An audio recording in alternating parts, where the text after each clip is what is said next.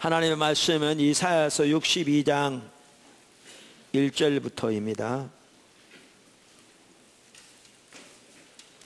나는 시온의 의가 빛같이 예루살렘의 구원이 횃불같이 나타나도록 시온을 위하여 잠잠하지 아니하며 예루살렘을 위하여 쉬지 아니할 것인즉 이방 나라들이 내 공의를 묻 왕이 다 내 영광을 볼 것이요 너는 여호와의 입으로 정하실 새 이름으로 일컬음이 될 것이며 너는 또 여호와의 손에 아름다운 관 내 하나님의 손의 왕관이 될 것이라. 다시는 너를 버림받은 자라 부르지 아니하며 다시는 내 땅을 황무지라 부르지 아니하리고 아니하리 아니하고 오직 너를 헵시바라 하며 내 땅을 뷸라라 하리니 이는 여호와께서 너를 기뻐하실 것이며 내 땅이 결혼한 것처럼 될 것임이라. 마치 청년이 처녀와 결혼함 같이 내 아들들이 너를 취하겠고 신랑이 신부를 기뻐함 같이 내 하나님이 너를 기뻐하시리라. 아멘. 우리가 주일 낮 시간을 통해서 이사야 하반부에 나오는 신약의 교회에 주신 유업에 대해 살펴보고 있습니다. 어, 이 부분을 살펴보는 이유는 간단합니다. 어, 그 이사야 하반부에 나오는 신약의 교회에 주신 유업과 하나님께서 포도나무 교회, 새물결 선교에 주신 하나님의 비전과 어, 하나님의 뜻이 정확하게 일치한 것을 더 보게 됩니다. 그리고 하나님께서 정확하게 이 부분을 우리 가운데서 지금 하고 계신 것을 이렇게 봅니다. 지금 한국 교회가 매우 심각하게 침체되어 있습니다. 정말 심각하게 침체되어 있습니다. 어, 그런 상황에서 하나님께서 이렇게 한국 교회를 회복시키기 원하시고 그 일을 하고 계시다고 저는 확신하고요. 그래서 우리가 이 부분을 지금 살펴보고 있습니다. 이 부분을 살펴보는 또 하나의 이유는 우리가 어떻게 어, 포도나무 교회가 하나님의 의도하신 어, 그리스도의 터 위에 더 세워질 건가를 보기 위한 것이고요. 그렇게 포도나무 교회가 하나님의 의도하신 예수 그리스도의 터 위에 세워지면 하나님이 어떠한 유업을 우리 가운데 더 주실 것인가를 우리가 더 믿음으로 기대할 수 있게 될 것이고요. 그리고 하나님께서 우리에게 주신 소명 또 우리를 부르신 비전을 우리가 더 선명히 보고 그 일에도 동참하기 위한 것입니다. 사실 제가 이 부분을 이렇게 나눠서 쭉 설교하지만 좀 제한이 있습니다. 왜냐하면 오늘이 벌써 네 번째인데 어, 일주일에 한 번씩 나누다 보니까 여러분들이 어, 사실은 잘 기억하고 주중에 기도하고 있지만 이렇게 이전 것들이 이렇게 잊혀지기가 쉽고요.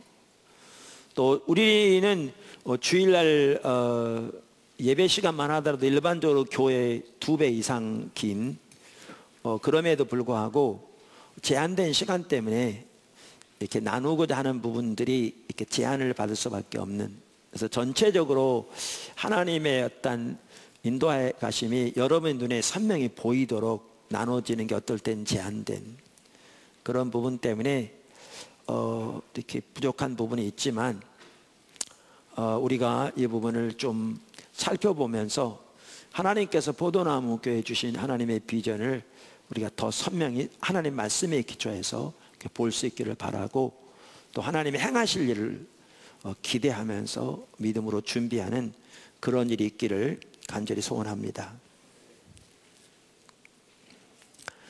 그 이사야 하반부에는 우리가 이미 지난 세 주간 동안 살펴본 것처럼 신약의 교회에 주신 하나님의 유업이 나옵니다.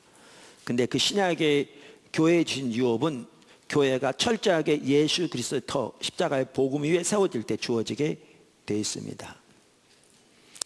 그 유업들이 여러 개가 나오는데요. 특별히 그 중에서 이사야서 54장, 그러니까 54장부터 집중적으로 신약의 교회에 대한 어, 내용이 나옵니다. 그 전에도 물론 나옵니다만은 44장부터 66장까지 나오는 신약의 교회를 위해 하나님이 예비하신 유업을 우리가 이제 그 내용을 살펴볼 텐데 그 유업을 간단히 어, 요약해서 말씀드리면 다음에 일곱 가지가 있습니다. 일곱 가지만이 아니고요. 대표적인 것들이 일곱 가지가 있습니다. 첫째는 회복이고요. 둘째는 하나님의 부흥, 셋째는 열방, 넷째는 놀라운 성령의 역사, 다섯째는 하나님의 보호, 여섯째는 부의 회복, 일곱째는 새하늘과 새 땅입니다. 아, 새하늘과 새 땅이 사실 궁극적인 회복이지요. 회복입니다. 이게 신약의 교회에 주신 하나님의 유업입니다. 그, 자, 그러면, 어, 말씀드린 대로 이 하나님의 유업과 포도나무 교회와 세물교회 선교회를 향한 하나님의 비전과 정확하게 일치된다. 이렇게 말씀드렸는데요. 오늘은 그 첫 번째 회복의 유업에 대해서 좀 살펴보기 원합니다. 어, 그 전에 예비적인 두 가지를 좀 살펴보겠습니다. 예, 어, 예비적인 두 가지. 그 중에 첫 번째는 어, 그 예언의 이중 의미입니다. 예언의 이중 의미에 대한 부분입니다. 제가 어, 이 부분은 첫 시간에 어, 3주 전에 간단히 언급한 적이 있습니다.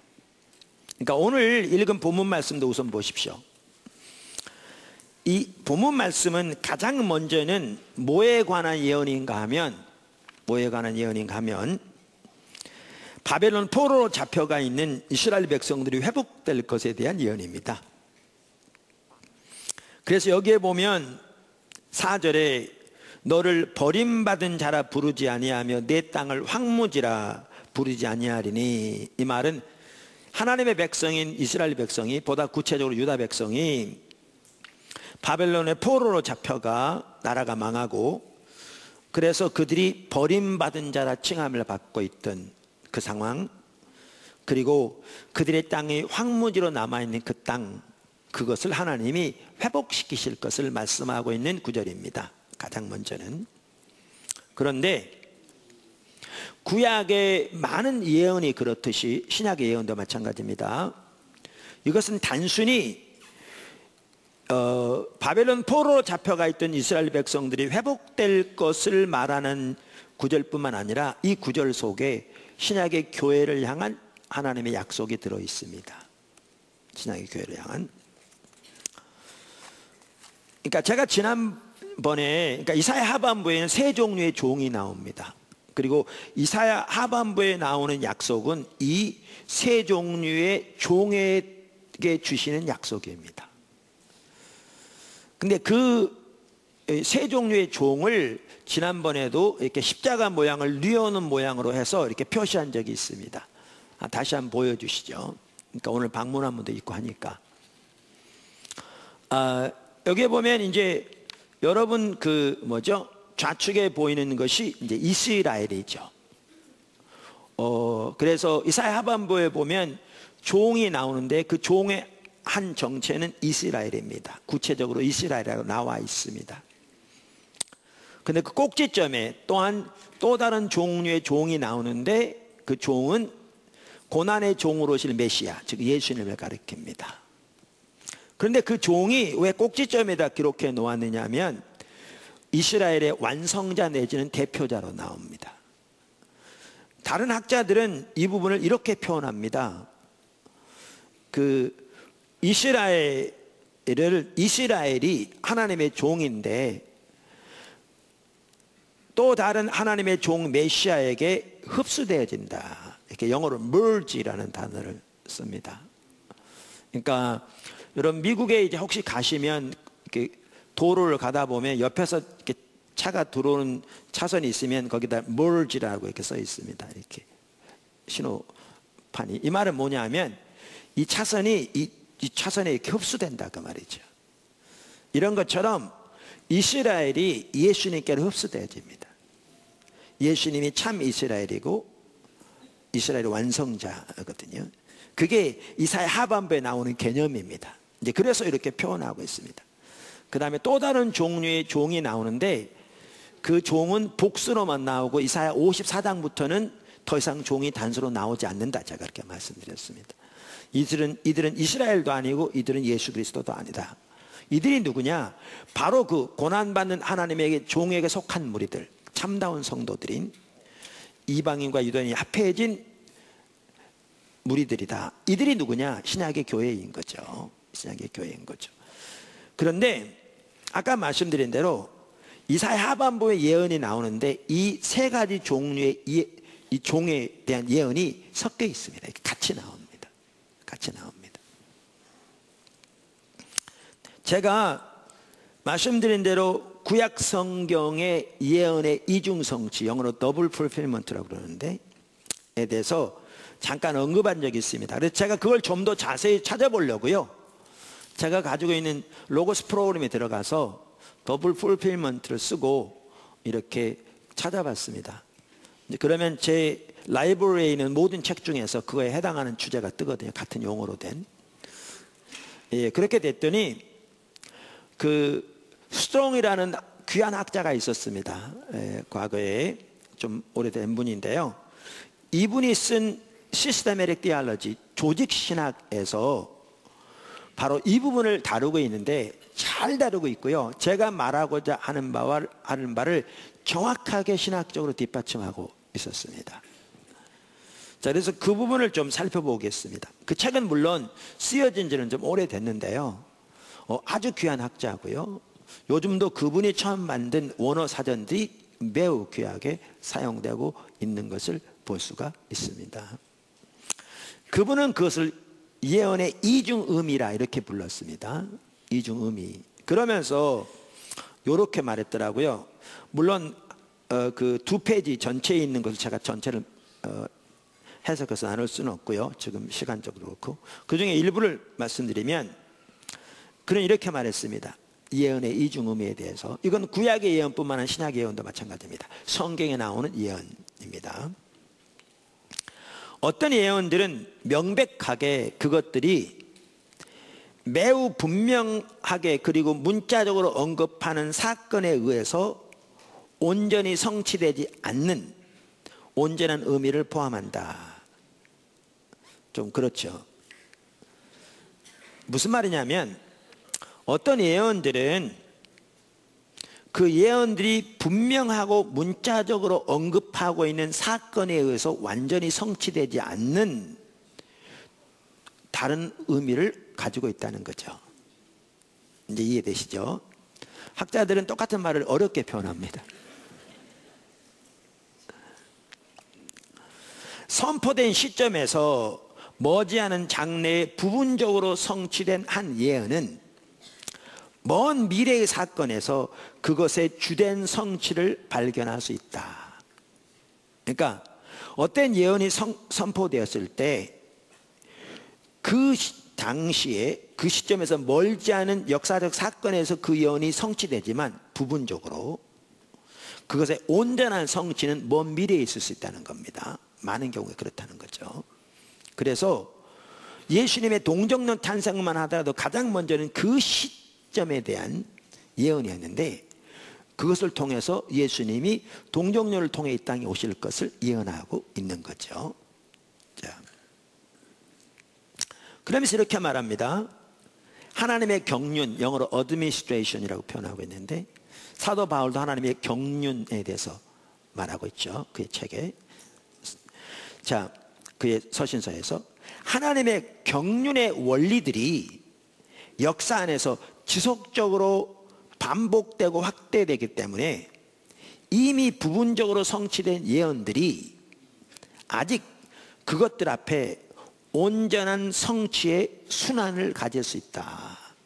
그러니까 여기에 온전한 성취의 순환, 순환이라는 단어가 중요합니다. 이 말은 무슨 뜻이냐면 하나님의 경륜의 원리들이 역사 속에서 지속적으로 반복되고 때로 확대되기 때문에 확대되기 때문에 어떤 예언들이 부분적으로 성취되어 있다 할지라도 그것이 미래에 온전히 성취되되 한 번만 성취되는 게 아니라 때로는 반복적으로 성취될 수 있다 그 말입니다. 반복, 반복 성취될 수 있다 그 말입니다. 여기에 덧붙여서 이거 이렇게 말합니다. 그분은 예언에는 마치 먼 것과 가까운 것이 똑같은 거리로 보이는 일본의 그림처럼 일본의 그림이 뭘 의미하는지 모르겠습니다. 참고로 이 책은 1907년에 쓰여졌습니다. 네, 오래전 쓰여진 책입니다. 그림처럼 그리고 디졸브 화면에서 디졸브 화면은 제가 영상을 잘 몰라서 모르겠고요. 혹시 아시는 분들은 더 이해가 될 텐데 영어로 말하면 dissolving view라고 되어 있습니다. 디졸브 화면에서 가까운 미래가 먼 미래 속으로 녹아 들어가는 것처럼 관점이 부재하다. 그러니까 이런 뜻입니다. 성경에 나오는 예언에는 공간적인 그 다음에 이 시간적인 관점이 부재하다는 겁니다. 예언에는 이런 뜻입니다. 쉽게 표현하면 여러분 산을 볼 때요 여기 산이 있습니다. 그리고 멀리 떨어진 뒤에 큰 산이 또 있으면 멀리서 보면요 산이 하나로 보입니다. 하나로. 그러니까 카메라 찍어도 멀리서 보면 하나, 하나로 보입니다. 이게 예수님이 이 땅에 오신만 해도 그렇습니다. 예수님의 초림이 있고요. 그 다음에 예수님의 재림이 있습니다. 예수님 곧 오시겠지만 최소한 2000년 동안 아직 안 오셨습니다. 이 먼 공간 있죠. 근데 구약의 관점에서 보면 이 둘이 둘로 나눠져 있지 않습니다. 이게 하나로 되어 있습니다.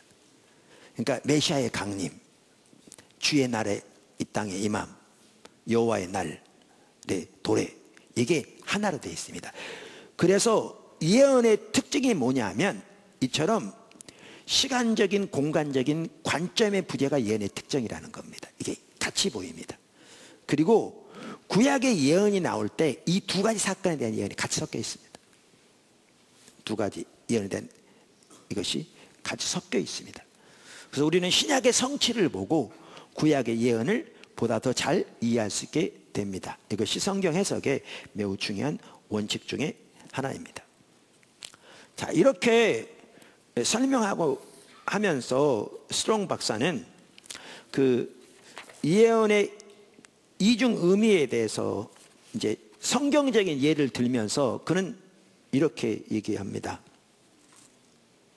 심지어 예언의 두 번째 성취도 미래의 최종적인 성취를 제외하지 않는다. 그러니까 딱 두 번만 성취되는 게 아니라는 겁니다. 어떤 경우에서는. 그래서 아까 순환이라는 단어를 사용했습니다. 그러면서 그분이 그, 그, 그 책에서 그 당시에 브라더스, 어, 그러니까 브로더스라고 아마 이분이 침례교 목사님일 겁니다. 제가 같은 성일 수도 있지만요. 그 당시에 침례교 학자 중에 아주 유명한 분이 있어서 이 브로더스하고 맨리 두 분의 앞에서 브로드맨이라는 침례교 출판사가 만들어졌습니다. 이 두 학자들 이름을 따서 그분 같아요. 그분의 마태복음 주석 480쪽을 인용하면서 이렇게 말합니다. 이사서 41장 8절에서 53장에서 야외 종과 관련한 예측들은 점차적으로 이스라엘에서 메시아로 교체된다. 그러니까 하나님의 종에 대한 예언이 나오는데 이 종에 대한 예언이 이스라엘에서 메시아로 교체된다. 이분은 이제 그렇게 표현하고 있습니다. 이 브로, 어, 브로더스라는 학자는 41장 8절에서는 이스라엘만 보여지는 가운데 메시아는 역시 42장 1절과 그 이후에도 나타난다. 그런데 53장에서는 이스라엘은 시야에서 사라진다. 처음에는 같이 나타나는데 맨 처음에 이스라엘만 있다가 같이 나타나다가 이제는 어떻게 된다고요? 53장에서는 이스라엘은 사라지고 메시아만 남는다. 그 다음에 이 브로더스는 학자는 바로 이 메시아 안에 있는 무리들 이사야 54장부터 나오는 그 종들에 대해서 언급하지 않고 있는데요. 다른 데 언급하지 모르지만 거기서 찾아서 언급하지 않고 있는데 우리가 살펴본 대로 이제 이사에서 54장부터는 종들이 나오는데 그 종들이 이 53장에 나오는 메시아에게 속한 발 말하면 53장에 나오는 하나님의 종인 고난의 종에게 속한 자들을 말하는 겁니다. 이게 신약의 교회인 거죠. 자 그러면 요게 섞여 있습니다. 이렇게 이게 그러니까 예언이 뭐냐면 이 세계가 분리되지 않고 있습니다. 이 세계가 그래서 이 세계에 대해서 많은 경우에 같이 언급하고 있습니다. 이게 그래서 이사야서 62장만 하더라도 여러분들이 기억하실 것은 가장 먼저는 그 당시에 바벨론으로 포로로 잡혀가 있는 그들을 회복시킬 것을 말합니다. 그런데 거기에 같이 뭐에 대한 약속이 들어있냐면 교회에 대한 약속이 들어있습니다. 그러니까 2절에 페트라 주석만 하더라도요. 아까 읽었던 2절에 뭐라고 되어 있냐면 이방 나라들이 내 공의를 열 묻 왕이 내 다 내 영광을 볼 것이요 너는 여호와의 입으로 정하실 새 이름으로 일컬음이 될 것이며 이 말은 아까도 말한 대로 버리운 자라 황무지라 남아있는 그들을 회복시킬 걸 말하는 구절인데 이 구절에 대해서 페트라 주석도 뭐라고 말하냐면 이렇게 말하고 있습니다 그 2절에 대해서 제가 읽어볼게요. 여호와의 입으로 정하실 새 이름 그러면서 새 이름은 종말론적인 의미를 지닌 용어이다. 성경은 새 하늘과 새 땅이 도래한 후 그곳에서 살게 될 자들을 언급할 때 바로 이 호칭을 사용하고 있다. 가로고 요한계시록 2장 17절, 3장 12절 가로 닫고 여기서는 하나님의 은혜로 새로이 회복된 상황을 표현하기 위한 목적으로 사용되고 있다. 이스라엘은 현재 수치와 가난, 압제로 대변되는 삶의 상황 속에 처해 있다. 그러나 메시아의 시대가 도래되면 번영과 영광으로 삶의 상황이 바뀌게 될 것인데 바로 그와 같은 상황을 새 이름으로 일컬을 것으로 묘사하고 있는 것이다. 이렇게 표현함으로써 이 구절이 가장 먼저는 그 당시 바벨론 포로에서 돌아올 것을 예언하고 있는 구절이지만 보다 근본적으로 메시아의 시대에 대한 예언이다. 이렇게 말하고 있습니다. 이렇게 섞여 있습니다. 이게. 정확하게 제가 그걸 말하고자 하는 게 바로 그 부분입니다. 여태까지 지금 계속 말하고 그리고 이사야 하반부 이게 명확하면 이게 구약뿐만 신약의 예언의 성격입니다. 이게 자 그러면서 이 그 스트롱 박사는요 한 가지를 더 얘기합니다. 그러니까 여러 가지 얘기하는 제가 한 부분을 더 좀 그 나누기 원합니다. 예언의 이중 의미에 대해서 그 성경적인 예를 들으면서 이렇게 얘기합니다. 여기 참 참고할 만한 게 있습니다. 이중 예언의 이중 의미에 대한 가장 훌륭한 예는 마태복음 23장과 25장. 그러니까 이게 구약의 예언만 그런 게 아닙니다. 신약의 예언도 마찬가지입니다.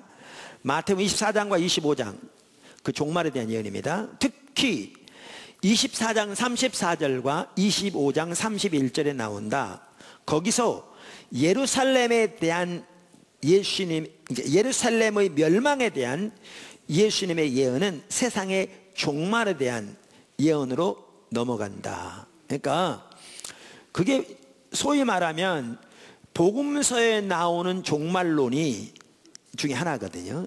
그게 에, 그 뭐죠? 그, 이, 그 중에 하나가 마태복음 24장. 제가 기억하기로는 틀릴 수 있는데 마가복음 13장, 누가복음 21장인가 이 세 군데 나오거든요. 예, 그런데 제자들이 예루살렘의 멸망이 언제 있겠습니까? 라고 물었더니 예수님이 예루살렘의 멸망에 대해서 얘기하다가 그 속에 뭐가 같이 포함되냐면 세상의 종말에 대해서 얘기합니다. 이게 똑같은 사건이 이게 섞여 있는 겁니다. 이렇게. 예언의 성격이. 그래서 거기서 예루살렘의 멸망에 대한 예수님의 예언은 세상의 종말에 대한 예언으로 넘어간다. 영어로 passes into 이렇게 돼 있어요. 그러면서 애덤슨이라는 학자의 말을 인용합니다. 그 mind in Christ 그리스도 안에 있는 마, 마음 그러니까 그리스도의 마음 이런 뜻이겠죠. 그 책 183쪽을 인용하는 내용이 나오는데 이렇게 말합니다. 애덤슨 박사는 예수님에게 있어서 역사는 하나님의 의복이었다. 그런 거로 자세의 지속적인 반복은 소수의 진리의, 진리에 매우 비슷하고 변화무쌍한 결합이었다. 뭔 얘기인지 잘 모르시겠죠?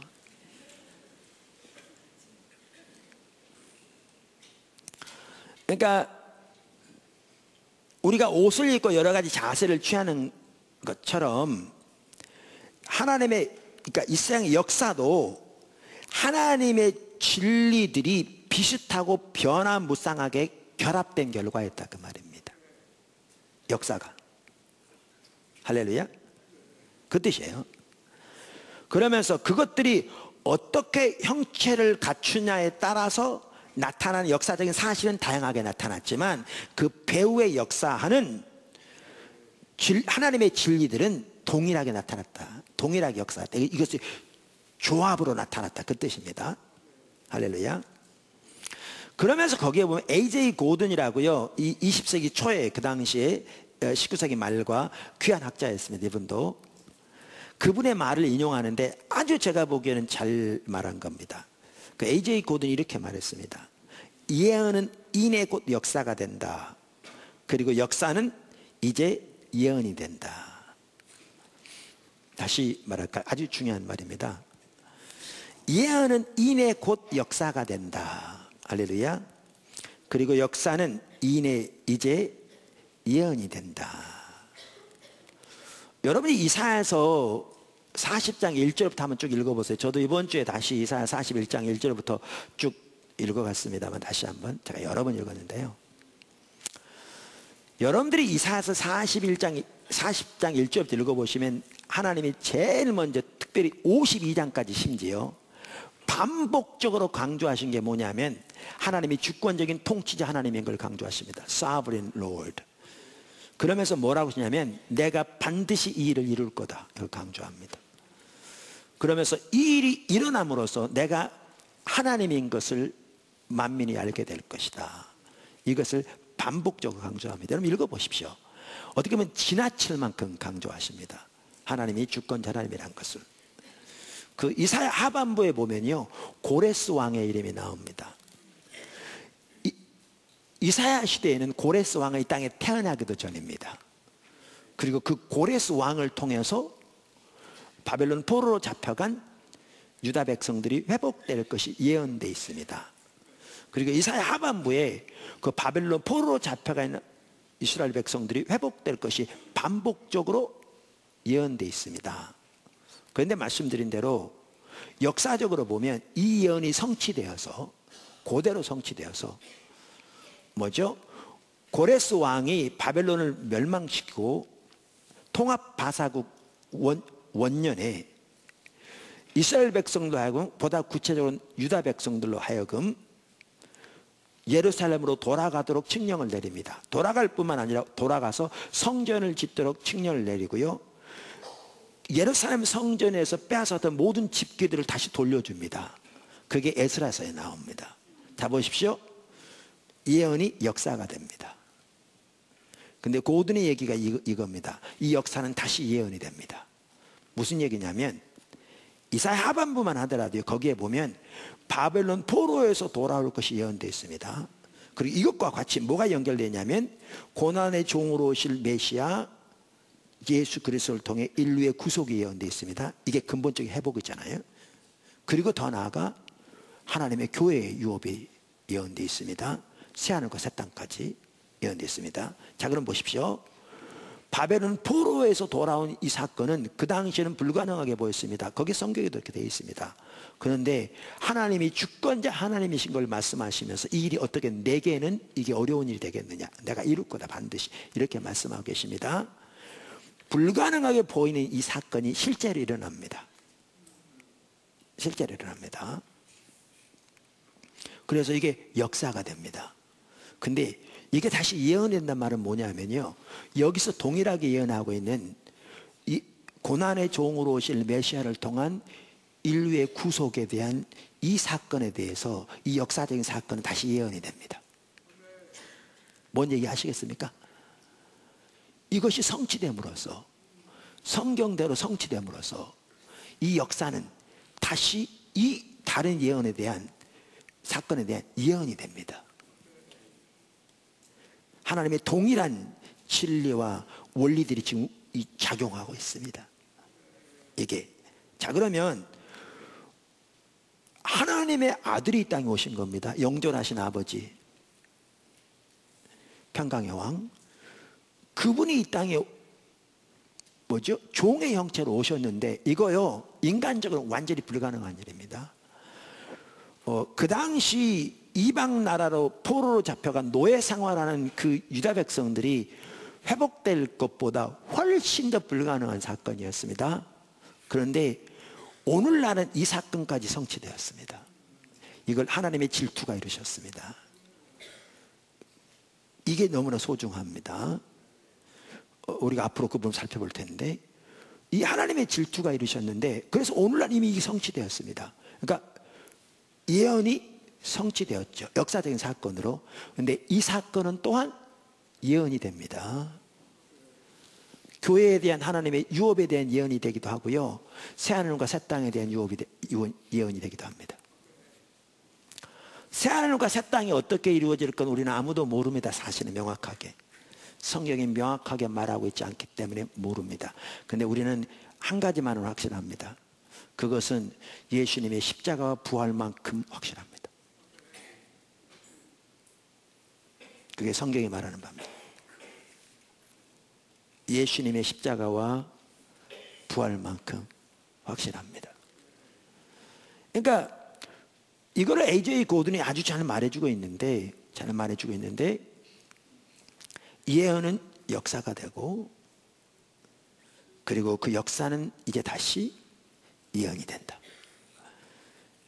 그래서 하나님이 이렇게 예언 하나님 말씀 이렇게 구약에서도 신약에서 예언을 주실 때 이렇게 예언들은 성취되어 왔습니다.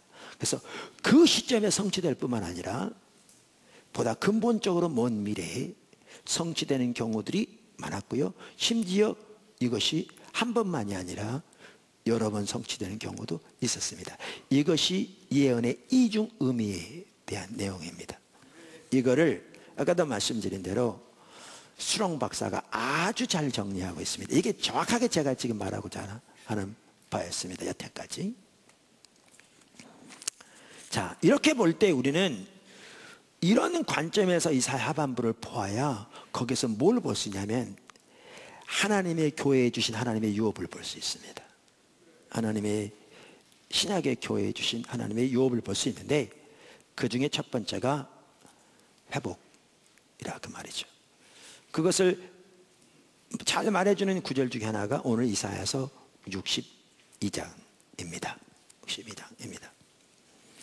사실 여러분 오늘날의 교회는 여기 이스라엘 백성들이 바벨론 포로 잡혀가 있는 상황에서 버림받은 자라 내 땅을 황무지라 이렇게 불리고 있는 상황이었던 것처럼 정말 오늘날의 교회는 심각하게 침체되어 있습니다. 그리고 하나님의 하나님 천지를 창조하신 하나님을 믿는 하나님의 자녀인 하나님의 백성들의 삶이 심각하게 침체되어 있습니다.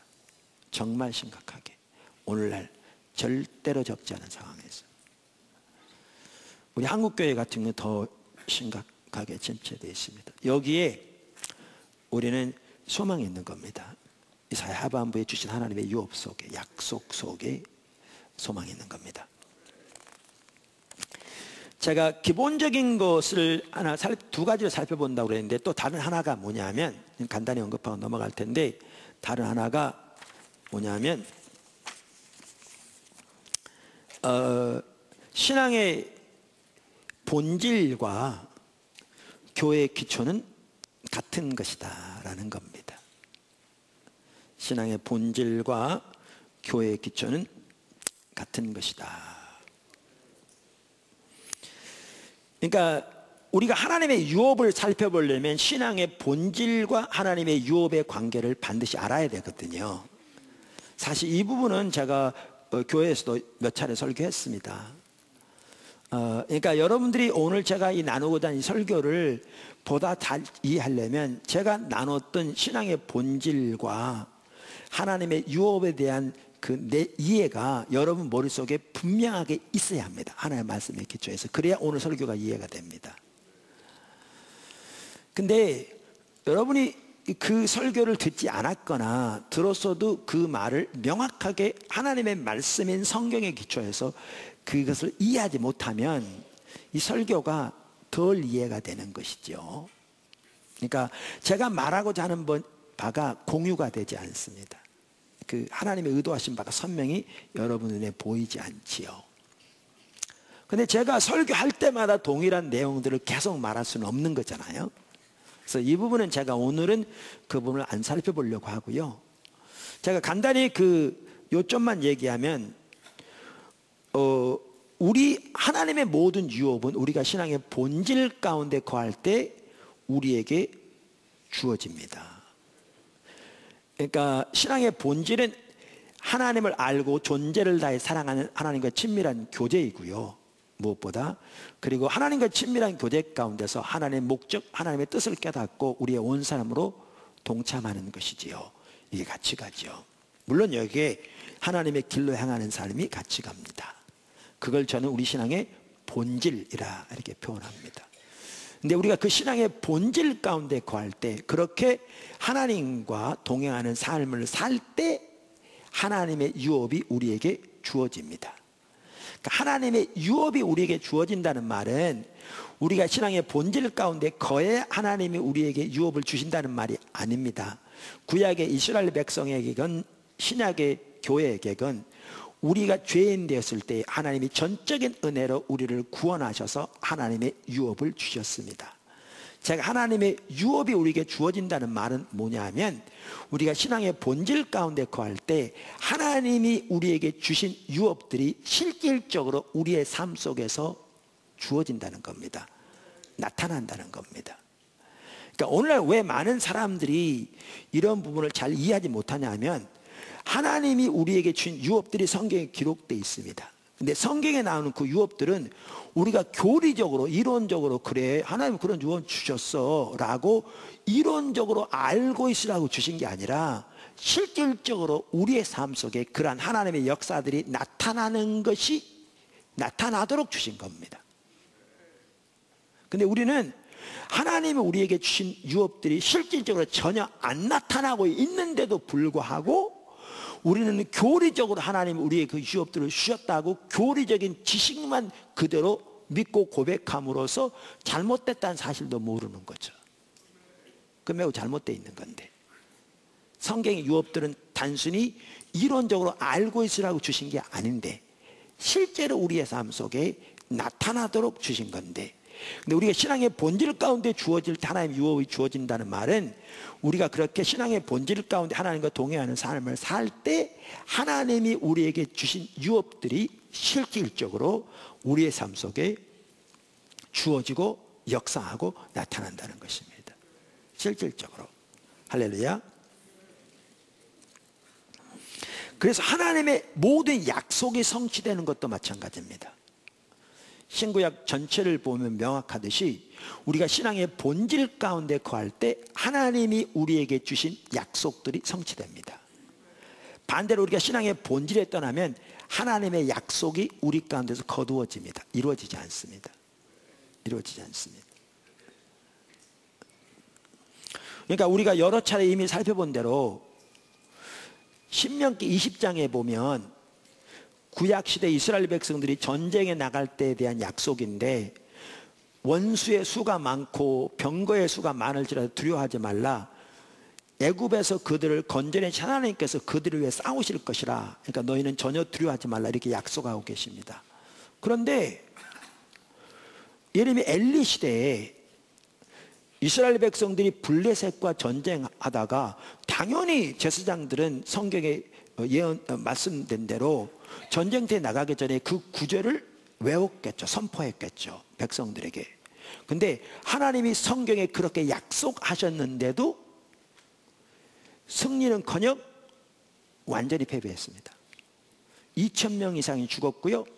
나중에 언약계까지 가지고 나갔지만 3만 명 이상이 죽고 이스라엘은 블레셋에게 대패해서 언약계 빼앗기고 엘리 두 아들 죽고 그때부터 블레셋의 지배를 받게 되었습니다. 아니 성경에 약속돼 있는데 실제 사람은 그 약속과 전혀 반대가 된 거죠. 이게 약속이 거두어진다는 의미입니다. 그러니까 하나님의 약속만 하더라도 그걸 교리적으로 그저 믿고 받아들이라고 있는 게 아니라 교리적으로 믿고 받아들이는 건 당연히 중요하지만 이 약속이 우리의 삶 속에 실질적으로 이루어지게 돼 있는 겁니다. 그게 하나님의 약속입니다. 근데 이 하나님이 주신 약속이 그것이 기도 응답에 대한 약속이건 무슨 약속이건 성경에 나오는 모든 하나님의 약속은 우리가 신앙의 본질 가운데 하나님과 동행하는 삶을 살 때 실질적으로 이 가운데서 주어지게 되어 있습니다. 이 말은 처음 주신다는 게 아니라 이 약속이 우리 가운데서 실제로 역사하고 나타나고 효력을 발휘한다 그 말입니다. 그러니까 효력을 발휘한다 그 말입니다. 그런데 문제는 뭐냐면 하나님의 백성들이 신앙의 본질에 떠나면 조금 더 말씀드리겠지만 그게 하나님 버린 것이니까 결과가 어떻게 되냐면 교리적으로는 그 약속을 그대로 믿을지 몰라도 이 약속이 실질적으로 삶에서는 전혀 안 이루어집니다. 금방 말씀드린 엘리 시대처럼 이게 약속이 이걸 저는 약속이 거두어진다고 표현하는 겁니다. 그 약속이 전혀 효력을 발휘하지 못합니다. 오늘날 수많은 사람들이 성경에 나오는 그것도 좋은 약속들만 임의로 골라서 믿습니다, 믿습니다, 믿습니다, 믿습니다 고백합니다. 그런데 실제 삶에서는 그러한 하나님의 약속이 전혀 이루어지지 않을 뿐만 아니라 이 약속과는 정반대 현상이 되어 있는 경우가 절대로 적지 않습니다. 그러면서 그들은 여전히 그 하나님의 약속을 믿는다고 고백만 하고 있습니다. 뭐가 문제입니까? 하나님의 약속이 거두어진 겁니다. 왜? 하나님의 백성이 하나님을 떠나 있기 때문에. 신앙의 본질에 떠나 있기 때문에. 이처럼 하나님의 약속이 우리에게 이루어지는 것도 우리가 신앙의 본질 가운데 거할 때 우리 가운데 이루어지게 돼 있습니다. 이처럼 신앙의 본질과 하나님의 유업은 밀접한 관계가 있습니다. 그러니까 우리가 신앙의 본질 가운데 하나님의 유업이 우리 가운데 실질적으로 효력을 발휘하고 우리가 또 하나님의 약속도 우리 가운데 실질적으로 역사하고 반대로 우리가 신앙의 본질에 떠나면 하나님의 약속이 우리 가운데서 거두어집니다. 교리적으로 이론적으로 믿을지 몰라도 그 실제적인 역사는 완전히 거두어집니다. 자, 그런데 제가 지난주에 뭐라고 2주 동안 말씀드렸냐면 교회가 철저하게 교회의 터인 예수 그리스도의 터 위에 세워질 때 하나님의 유업이 주어지고 교회가 그리스도의 터에서 떠나면 하나님의 유업이 거두어진다. 그리고 다시 교회가 교회의 터인 예수의 터 위에 그 성경이 말하는 진정한 의미에서 그 터 위로 회복되어지면 유업이 회복되어진다 이렇게 말했습니다. 그러니까 혼동될 수 있는데 신앙의 본질과 교회의 기초인 예수 그리스도의 터 위에 세워진 즉 십자가의 복음에 세워지는 것은 같은 겁니다. 십자가의 복음과 신앙의 본질은 같은 것입니다. 그래서 제가 쓴 십자가 복음 책에 보면요. 우리 신앙에 대해서 이런 도표로 표시했습니다. 한번 보여주십시오. 이게 우리의 신앙을 한마디로 요약해 놓은 겁니다. 한마디로. 그러니까 우리의 신앙은 철저하게 하나님의 말씀인 성경에 토대한 삶입니다. 할렐루야. 여러분 이거 아십니까? 종교 개혁자들이 내걸었던 기치를 어떤 분은 세 개로 요약하기도 하고요. 더 크게는 다섯 개로 말하기도 하는데 그 다섯 개가 뭔지 아십니까? 오직 은혜, 오직 믿음, 오직 성경, 그 다음에 오직 예수, 그 다음에 오직 하나님께 영광. 이 다섯 개입니다. 이게 종교 개혁자들이 내건 기치입니다. 이게 정확하게 제가 말한 저와 똑같습니다. 똑같습니다. 한 가지만 빠졌습니다. 저는 빠졌다고 표현합니다. 그게 뭐냐? 오직 성령이 빠졌습니다. 오직 성령이. 그러니까 성경에서는요, 이 갈라디아서를 보면 알수 있듯이 또 그 외 바울의 서신서를 보면 알 수 있듯이 오직 은혜, 오직 믿음, 오직 십자가와 오직 성령이 같이 갑니다. 나눠지지 않습니다. 또 성경에 보면 오늘날 뭐죠? 바울 서신서를 연구하는 신약 학자들이 말하는 것처럼 예수님이 예수님의 부활부터 성도들의 부활 그러니까 예수님의 재림 때까지 이 시대는 성령의 시대라고 말할 만큼 우리 신앙은 철저하게 성령에 의한 삶입니다. 뭐에 기초해서? 하나님 말씀에 기초해서. 저 좋아. 저대로입니다. 종교 개혁자들도요. 성령의 역할을 매우 강조했습니다. 그러니까 칼빈을 연구해서 박사학위를 받은 우리나라 한 그 학자가 기독교 학술원 그, 그 뭐죠? 학술대에 나와서 그분이 발표하면서 그러더라고요. 그분이 그런 책도 썼는데 칼빈은 성령의 학자다. 그만큼 칼빈은 성령을 강조했다는 겁니다. 실제로 칼빈은 어, 이렇게 말했다고 합니다. 성경도 성령이 없이는 하나님의 말씀이 아니다. 그건 문자다. 문자는 죽이는 것이다. 성령이 성경을 통해 깨닫게 하셔야 하나님의 말씀이 되는 것이다. 제 고등학교 친구 중에 한 명은요, 사법고시 공부하느라고 법에 대해서 공부하다가 성경을 삼독인가 했어요. 그래서 결국 사법고시 합격해서 검사로 있다가 어, 몇년 전에 그 뭐죠? 그, 그 이제 그 퇴직하고 지금 변호사로 뭐 하고 있는데 보세요. 근데 예수 안 믿어요. 그리고 성경을 통해 하나님 전혀 발견하지 못했어요. 성경을 통해 하나님 음성을 듣는 것도 아니고요. 성경만 하더라도 성령이 반드시 같이 가야 비로소 성경이 하나님의 말씀이 됩니다. 그러니까 아까 제가 보여드린 대로요. 저게 성경에 말하는 우리 신앙을 정확하게 표현한 것이고요. 저게 종교개혁 올해 500주년 기념인데 종교 개혁자들이 말한 우리 신앙과 정확하게 똑같습니다. 심각한 게 뭐냐면 오늘날은 성경은 강조하지만 성령의 역사를 자리를 소홀히 함으로써 문자화된 신앙으로 전락해 버렸습니다. 그래서 원래 종교 개혁자들이 말하는 개혁 신앙과는 다른 형태를 가지게 되었죠. 그게 심각한 문제인 거죠. 자, 그래서 다시 한번 그 도표를 보여주시면 우리 신앙은 철저하게 하나님의 말씀인 성경을 토대한 사람이 우리 신앙의 모든 면이 그 토대 위에서 오직 성령, 오직 은혜, 오직 십자가, 오직 어, 뭡니까? 믿음. 이건 순서는 중요하지 않습니다.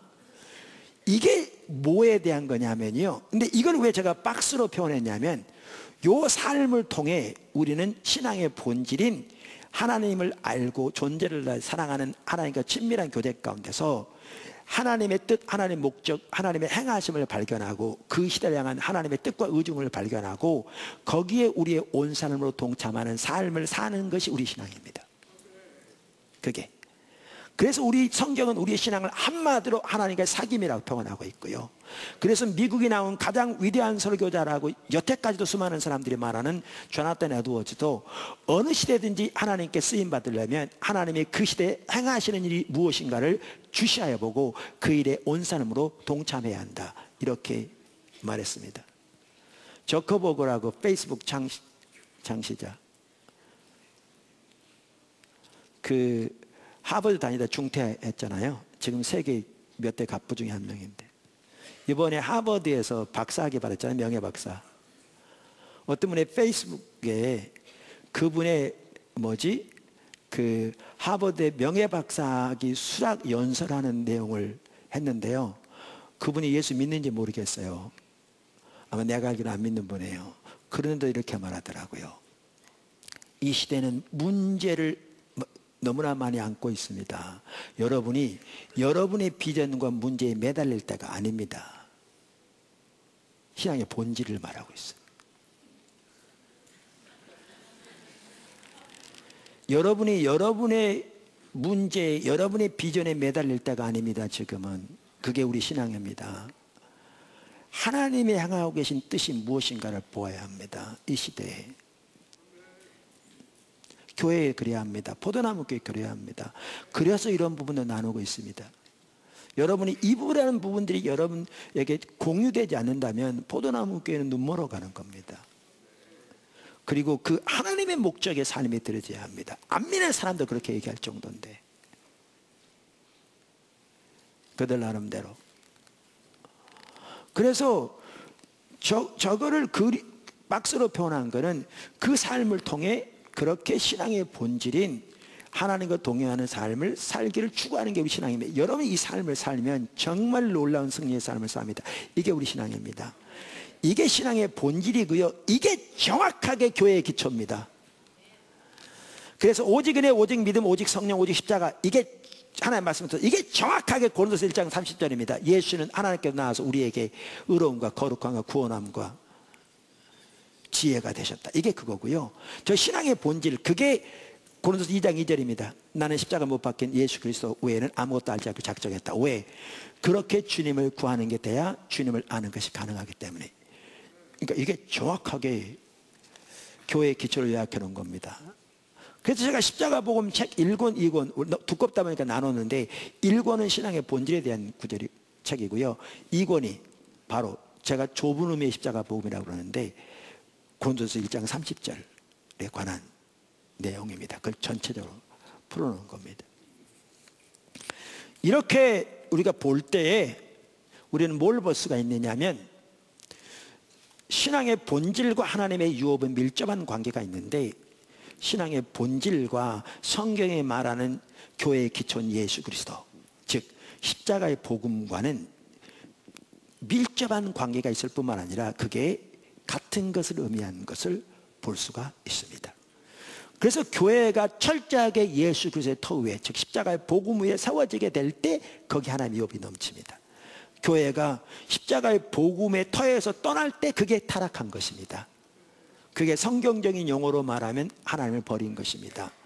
그리고 그렇게 타락하면 하나님의 유업이 거칩니다.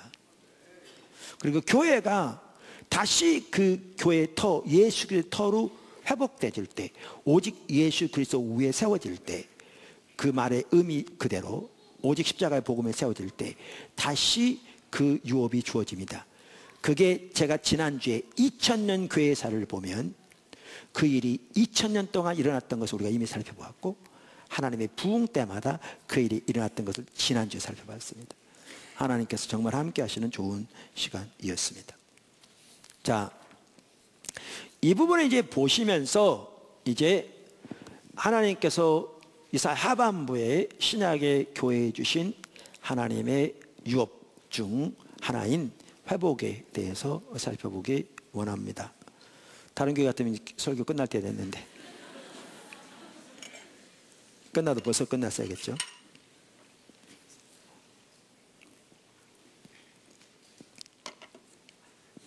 아, 제가 오늘 사실 내용이 적지 않아서 제 고민을 많이 했습니다. 2부 예배 때는 그래도 더 잘 풀어져 가고 있는데 1부 예배 때는 좀 많이 힘들었습니다. 왜냐하면 시간을 짧지 나눠야 할 내용은 많지 또 이게 제가 지금 보고 있는 바를 성도들이 보게 하려면 시간이 필요한데 그래야 비전이 나눠지는데 그래야 하나님의 길이 보여지는데 내용은 쉽지 않지 무슨 신학교도 강의하는 것 같고 예, 그런데 어, 잘 정리되고 있습니다. 자, 그러면 하나님께서 신약의 교회에 주신 유업 중에 하나가 회복입니다. 근데 이렇습니다. 회복은 어떻게 보면 하나님이 하나님의 교회에 주신 유업이라고 구태여 말할 필요가 없습니다. 왜냐하면 하나님 백성이 철저하게 예수 그리스도 터 위에 세워지면 그 모든 하나님의 뭐죠? 유업이 주어지게 돼 있는데 그리고 하나님 백성이 이 그리스도의 터에 떠나면 유업이 거두어졌다가 다시 돌아오면 그 유업이 회복되기 때문에 이 회복 자체가 유업이라고 말할 수는 없죠. 돌아오면 회복되는 거죠. 근데 제가 왜 유업 속에 회복을 넣느냐 하면요. 이유에서 넣습니다. 하나님 백성이 돌아오면 회복되어지는데 그 하나님의 교회에 주신 유업 중에 하나가 뭐냐 하면 본인들이 그 가운데 설 뿐만 아니라 흑암 가운데 있는 폐허 가운데 있는 자들을 회복시킬 유업을 교회에 주셨습니다. 이 점이 있습니다. 그래서 교회에 준 유업 중에 하나가 회복입니다. 부흥 때만 해도 그렇습니다. 하나님의 부흥이 올 때마다 항상 예비되는 단계가 있다고 그랬잖아요. 로디 존스 목사님 말씀에 그리고 예비적인 단계에서는 우리가 옳은 말로 표현하면 정확하게 교회의 기초 회복되어 있잖아요. 그죠? 그러면 교회의 기초가 회복된 이들은 가장 먼저 이들이 회복되죠. 그랬죠. 하나님이 오셔서 운행하시는 회복되죠. 근데 이들에게 주신 소명이 뭔지 아십니까? 다른 자들을 회복시키기 위해 주신 거죠.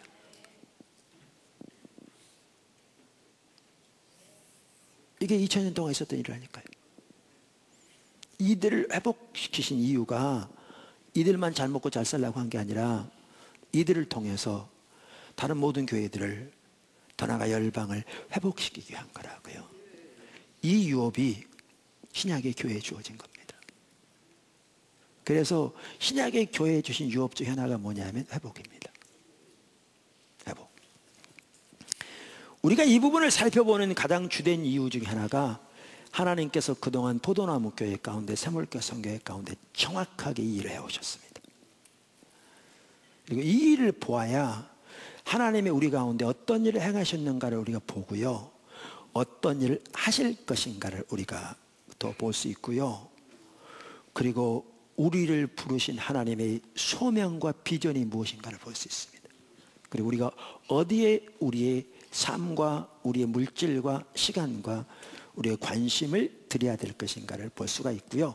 더 나아가서 이러한 하나님의 유업이 우리 가운데 더 함께하기 위해서 우리가 어떻게 오직 예수 그리스도의 터 위에 세워질 것인가 어떻게 철저하게 십자가의 복음에 설 것인가를 아울러 볼 수가 있습니다. 그래서 이 부분을 살펴봅니다. 아멘. 자, 회복에 대해 살펴보면서 제가 그래서 오늘 세 가지를 살펴보려고 합니다. 어, 시간이 많이 됐기 때문에 제가 요점만 살펴봐야 될 것 같고요. 오늘 성찬식도 있어서 예, 시간에 맞춰서 제가 예, 마치도록 하겠습니다. 못 살펴보면 나중에 제가 책으로 내려고 하니까 그때 보시면 될 거고. 첫째, 하나님의 백성이 하나님을 떠나면 신분의 저하가 일어납니다. 제가 회복을 이렇게 살펴보는데 어떤 것에 초점을 맞춰서 회복을 살펴보느냐면요. 하나님이 지금 우리들 가운데 행하고 계신 일에 초점을 맞춰서 회복을 살펴봅니다. 그러니까 회복에 대해 다를 부분이 많을 텐데 지금 몇 개월 전부터 아니면 몇 년 전부터 하나님께 특별히 포도나무 교회 가운데서 어떤 것을 집중적으로 말씀하시고 깨닫게 하시고 우리들 가운데 행하고 계신가 그 부분에 맞춰서 어, 회복을 지금 살펴봅니다. 첫째가 뭐라고요? 하나님의 백성이 하나님을 떠나면 신분의 저하가 일어납니다. 그러니까 성경에 보면 영적인 법칙이 나오죠. 반복적으로 나오는 법칙 중 하나가 뭐냐면 우리가 하나님과 함께하면 하나님도 우리와 함께 하시고 우리가 하나님 버리면 하나님도 우리를 버리신다는 겁니다. 우선 우리가 하나님과 함께 한다는 말은 신앙의 본질 가운데 하나님과 동행하는 삶을 말합니다. 아멘. 그 다음에 하나님을 버린다는 말은 아무리 종교적인 의식이 우리 가운데 많아도 우리가 신앙의 본질에서 떠나는 것을 말합니다. 성경은. 그래서 이스라엘 시대는 그 많은 종교적인 의식이 있었지만 그들이 신앙의 본질에서 떠나 있었, 있으니까 하나님이 그들이 하나님 버렸다라고 말씀하십니다. 왜냐하면 우리가 하나님과 친밀한 교제에서 떠나면 하나님을 아는 참다운 지식에 떠나면 교리적인 지식이 말하는 게 아니고요. 하나님과 인격적인 관계에서는 그분을 아는 참다운 지식에 떠나면 우리의 삶은 우리의 행동은 반드시 하나님의 법을 버리게 되어 있습니다. 인간은 한 명도 예외가 없습니다. 그렇기 때문에 신앙의 본질에 떠난 것을 하나님 버린 것이라고 말씀하십니다. 자, 우리가 하나님을 버리면 성경에 보면 하나님도 우리를 버리신다 이렇게 말하고 있습니다. 그런데 이 하나님이 우리를 버리신다는 말은 신분적으로 우리를 버리신다는 말이 아닙니다. 많은 사람들이 그 말을 그렇게 이해하기 때문에 구약 시대에는 하나님이 이스라엘 백성들을 버렸을지 몰라도 신약 시대 우리들은 영원히 버리시지 않는다 이렇게 잘못 이해합니다. 여러분 구약 시대도 하나님은 이스라엘을 버리지 않았습니다.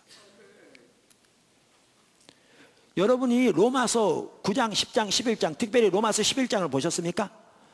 신약 성경의 로마서 11장에 보면 이스라엘 백성을 향한 하나님의 계획이 나옵니다. 이스라엘 백성들은 하나님이 버리신 것이 아닙니다. 아까 말씀드렸잖아요. 이스라엘, 이사야 하반부에 그 이스라엘이 뭘로 흡수된다고요? 참 이스라엘은 예수 그리스도. 그 다음에 어떻게 된다고요? 예수 그리스도 안에서 하나님의 찬 백성을 세우십니다. 유대인과 이방인을 합하여 한 세 백성을 만든 게 교회입니다. 이스라엘 없어진 게 아닙니다. 그리고 로마서 11장에 보면 사도 바울이 하나님의 놀라운 계획을 말하면서 말세 제말이 되면 유대인들이 대규모로 예수 그리스도께 더해질 거라고 말합니다. 이스라엘이요 하나님 버리신 거 아닙니다. 신분적으로 버리신 거 아닙니다. 성경을 보십시오.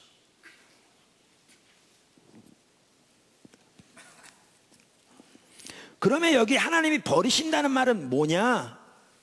버리신다는 말은 하나님이 더 이상 그들과 함께하지 않는다는 말입니다.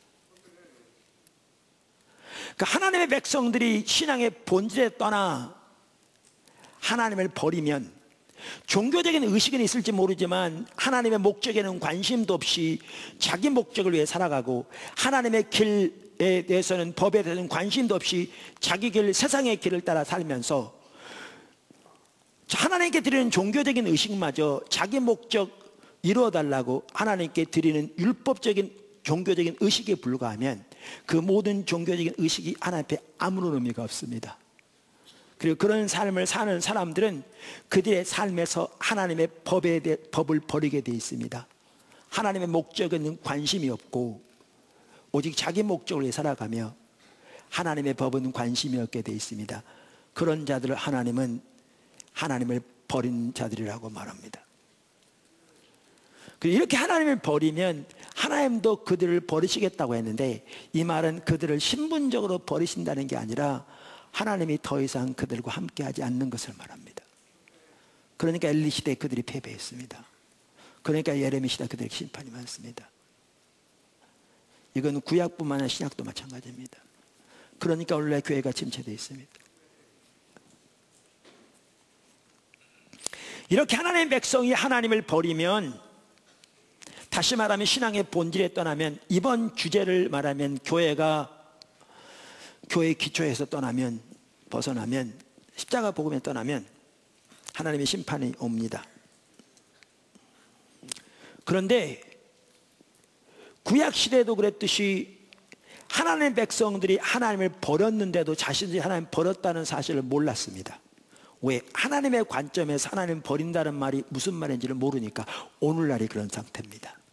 그리고 하나님이 버, 하나님을 버렸다는 사실도 모르면 하나님의 심판의 열매들이 이미 와 있는데도 그걸 모를 수 있습니다. 그러니까 엘리 시대에 전쟁에 나가서 블레셋에게 패했는데 왜 졌는지를 아무도 몰랐습니다.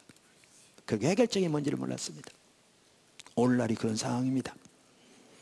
그렇기 때문에 우리는 하나님을 떠나면 그 심판의 열매로서 우리에게 나타나는 열매들을 알아야 합니다.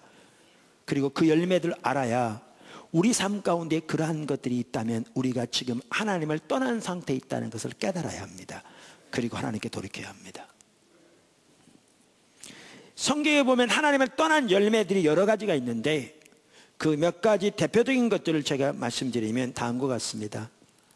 하나님 백성들이 하나님을 떠나면 나타나는 열매들입니다. 얼마 전에도 설교한 적이 있습니다. 첫째는 하나님의 임재가 거칩니다. 둘째, 영적인 분별력이 어두워집니다. 즉 하나님의 관점에서 신앙과 자신의 처지와 형편을 전혀 이해하지 못하게 됩니다. 성경 시대 내내 그랬습니다. 하나님 떠난 시대. 세 번째, 그러니까 라오디게아 교회 보십시오. 예수님은 그 후한 눈을 가지고도 단 한마디 칭찬할 게 없는 교회였습니다. 신약교회입니다. 그러면서 그 중 하나가 눈 멀었다. 근데 그 사실도 모른다. 분별이 어두워진 거죠. 가난하다. 벌거벗었다. 근데 그들은 뭐라고 생각했는가? 우리는 부자라 부야에 부족함이 없다고 자부했습니다. 완전히 다른 거죠. 왜? 눈이 멀으니까요. 예수님이 교회 문 밖에 계셨습니다. 그만큼 하나님 임재가 거친 거죠. 그 다음에 세 번째, 하나님의 생명의 역사들이 거칩니다. 네 번째, 하나님의 뜻과 의중이 보이지 않습니다. 다섯 번째, 하나님의 약속이 성취되지 않습니다. 이것을 아까 표현한 대로 저는 하나님의 약속이 거두어진다고 표현합니다. 여섯 번째, 하나님의 유업이 주어지지 않습니다. 교리적으로는 그대로 믿을지 모르지만 그 실제는 삶에서 철저하게 거두어집니다. 이로만 남습니다. 그게 심판의 결과입니다. 일곱 번째, 하나님의 백성의 신분이 저하됩니다. 그래서 그 중에 하나가 뭐냐면 하나님의 백성이 하나님을 버리면 신분의 저하가 일어납니다. 신분의 저하가. 여러분 구약 시대부터요. 하나님께서 하나님의 백성들에게 주신 그 신분은 참으로 고귀하고 놀랍습니다. 출애굽기 19장 5절만 하더라도 하나님께서 이스라엘 백성들에게 너희는 모든 민족 중에서 내 소유가 되겠고 너희가 내게 대해 제사장 나라가 되며 거룩한 백성이 되리라. 어마어마한 내용입니다. 여러분 이 구절을 들어도 감격이 별로 없습니다. 왜 없느냐면 이 말이 의미하는 바를 잘 몰라서 그렇습니다. 제가 지난주 화요일 날 설교했던 내용을 가까운 장로의 주일날 할 겁니다. 여러분이 그 설교를 듣고 나시면 이게 얼마나 놀라운 하나님이 주신 축복인가를 깨닫게 될 겁니다. 신약에도 마찬가지입니다. 베드로전서 2장 9절 너희는 택하신 족속이요 왕 같은 제사장들이요 거룩한 나라요 그의 소유된 백성이니 이는 너희를 어두운 데서 불러내어 그의 기이한 빛에 들어가게 하신 이에 아름다운 덕을 선포하게 하려 하심이라 하나님의 우리를 하나님의 아들로 삼으셔서 하나님을 아바 아버지라 부르게 하셨습니다. 정말 놀라운 일입니다. 하나님이 교회를 하나님의 성령이 구하신 성전으로 삼으셨습니다. 우리를 하나님 나라의 백성으로 삼으시고 하나님 나라의 능력이 이미 이 땅에 임하셔서 우리 곁에 운행하게 하셨습니다. 우리를 그래서 신부로 삼으셨습니다. 여러분 오늘날 우리들이 말씀드린 대로 이러한 구절들을 들을 때 별로 감격이 없습니다. 왜 감격이 없느냐? 아까도 말씀드린 하나는 그 말이 의미하는 바를 잘 몰라서 그렇고요. 두 번째는 우리가 교리적으로는 그러한 내용을 믿을지 모르지만 그 삶의 실제적인 역사가 우리의 삶에 전혀 나타나고 있지 않기 때문에 그렇습니다. 하나 천지를 창조하신 만군의 여호와 하나님이 우리의 아바 아버지가 되시고 우리가 그의 자녀된 삶은 정말 놀라운 삶입니다. 정말 위대한 사람으로 우리를 하나님이 부르셨습니다. 고귀한 신분을 주셨습니다. 근데 어떤 일이 일어난 줄 아십니까? 하나님의 백성이 하나님을 버리면 신앙의 본질에 떠나면 신분의 저하가 일어납니다. 이 말은 그 신분이 박탈당한다 그 말이 아닙니다. 그 신분이 의미하는 바가 철저히 거친다 그 말입니다. 교리는 남아있고 이론 남아있을지 몰라도 그 신분이 의미하는 바가 철저히 거치기 때문에 그 신분의 저하가 일어납니다. 여러분 여기 보십시오. 그 어, 예레미야 애가 1장 예레미야 애가는 어, 그 남방 유다가 멸망한 후에 예레미야가 쓴 성령의 감동으로 성경입니다. 1절 1장 1절 슬프다 이 성이여 전에는 사람들이 많더니 이제는 어찌 그리 적막하게 앉았는고 전에는 열국 중에 크던 자가 보십시오. 전에는 열국 중에 크던 자가 이제는 과부같이 되었고 전에는 열방 중에 공주였던 자가 이제는 강제 노동을 하는 자가 되었다. 영어로 slave 노예가 되었다. 이렇게 말합니다. 하나님의 백성과 민족의 성패는 하나님과의 관계에 달려 있습니다. 그들과 하나님과의 관계에 달려 있습니다. 다윗 시대는 하나님과 동행했던 시대였습니다. 참으로 부강하고 위대한 나라가 주어졌고 거기에 번영이 있었습니다. 가장 큰 꽃은 그 아들 솔로몬 때 피었는데 그것은 솔로몬 때문이 아니고 다윗의 영향이었습니다. 솔로몬도 초기에는 다윗을 본받아서 신앙의 본질 가운데 하나님과 동행하는 삶을 살았습니다. 그러나 번성해지면서 그는 서서히 하나님을 떠나기 시작했습니다. 그때부터 이스라엘 백성들은 하나님을 떠나기 시작했습니다. 중간중간 일부 돌아오는 때도 있었지만 근본적으로 돌아오지 못하고 하향 곡선을 계속 지속하게 되었습니다. 그렇게 된 결과 북방 이스라엘은 서기전 722년에 아수르의 멸망에서 나라가 세계 흩어져 없어졌고 남방 유다는 서기전 586년에 바벨론 누부갓네살 왕에 의해서 멸망해서 포로로 잡혀갔습니다. 그 상황을 두고 한 얘기입니다. 전에는 공주였는데 열방에서 지금은 노예가 되었다. 보십시오. 하나님 백성의 신분의 저하가 일어납니다. 항상 이런 일이 있습니다. 애가 2장 1절 슬프다 주께서 어찌 그리 진노하사 딸 시온을 구름으로 덮으셨는가? 이스라엘의 아름다움을 하늘에서 땅에 던지셨으며 그의 진노의 날에 그의 발판을 기억하지 아니하셨도다. 15절. 지나가는 자들이 다 너를 향하여 박수치며 딸 예루살렘을 향하여 비웃고 머리를 흔들며 말하기를 온전한 영광이라. 모든 세상 사람들이 기쁨이라 일컫던 성이 이 성이냐 하며 여러분 보십시오. 하나님이 함께 할 때는 하나님과 함께 할 때, 그래서 하나님이 그들과 함께 할 때, 신앙의 본질 가운데 거할 때, 예루살렘은 온전한 영광, 모든 세상 사람들의 기쁨이라고 불렸습니다. 그런데 지금은 폐허가 되었습니다. 그리고 그걸 본 사람들이 비웃고 머리를 흔들며 조롱하며 지나갔다고 그랬습니다. 하나님의 백성이 하나님을 떠나면 신분의 저하가 일어납니다. 신약의 교회도 마찬가지입니다.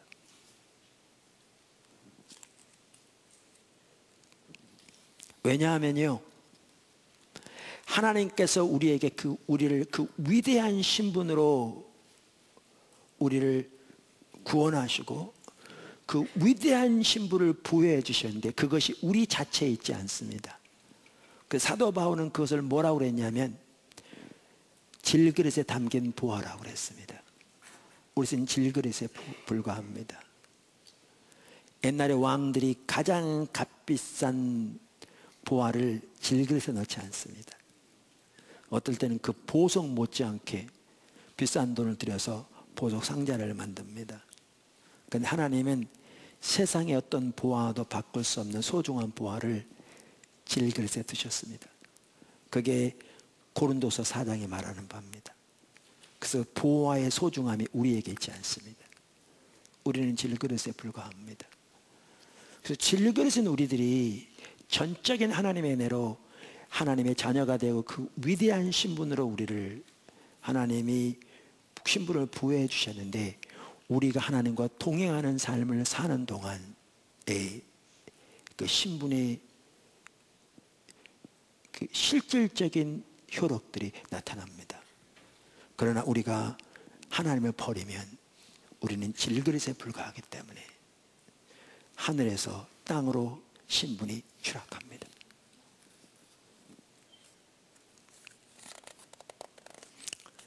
말씀드린 대로 신약에도 마찬가지입니다.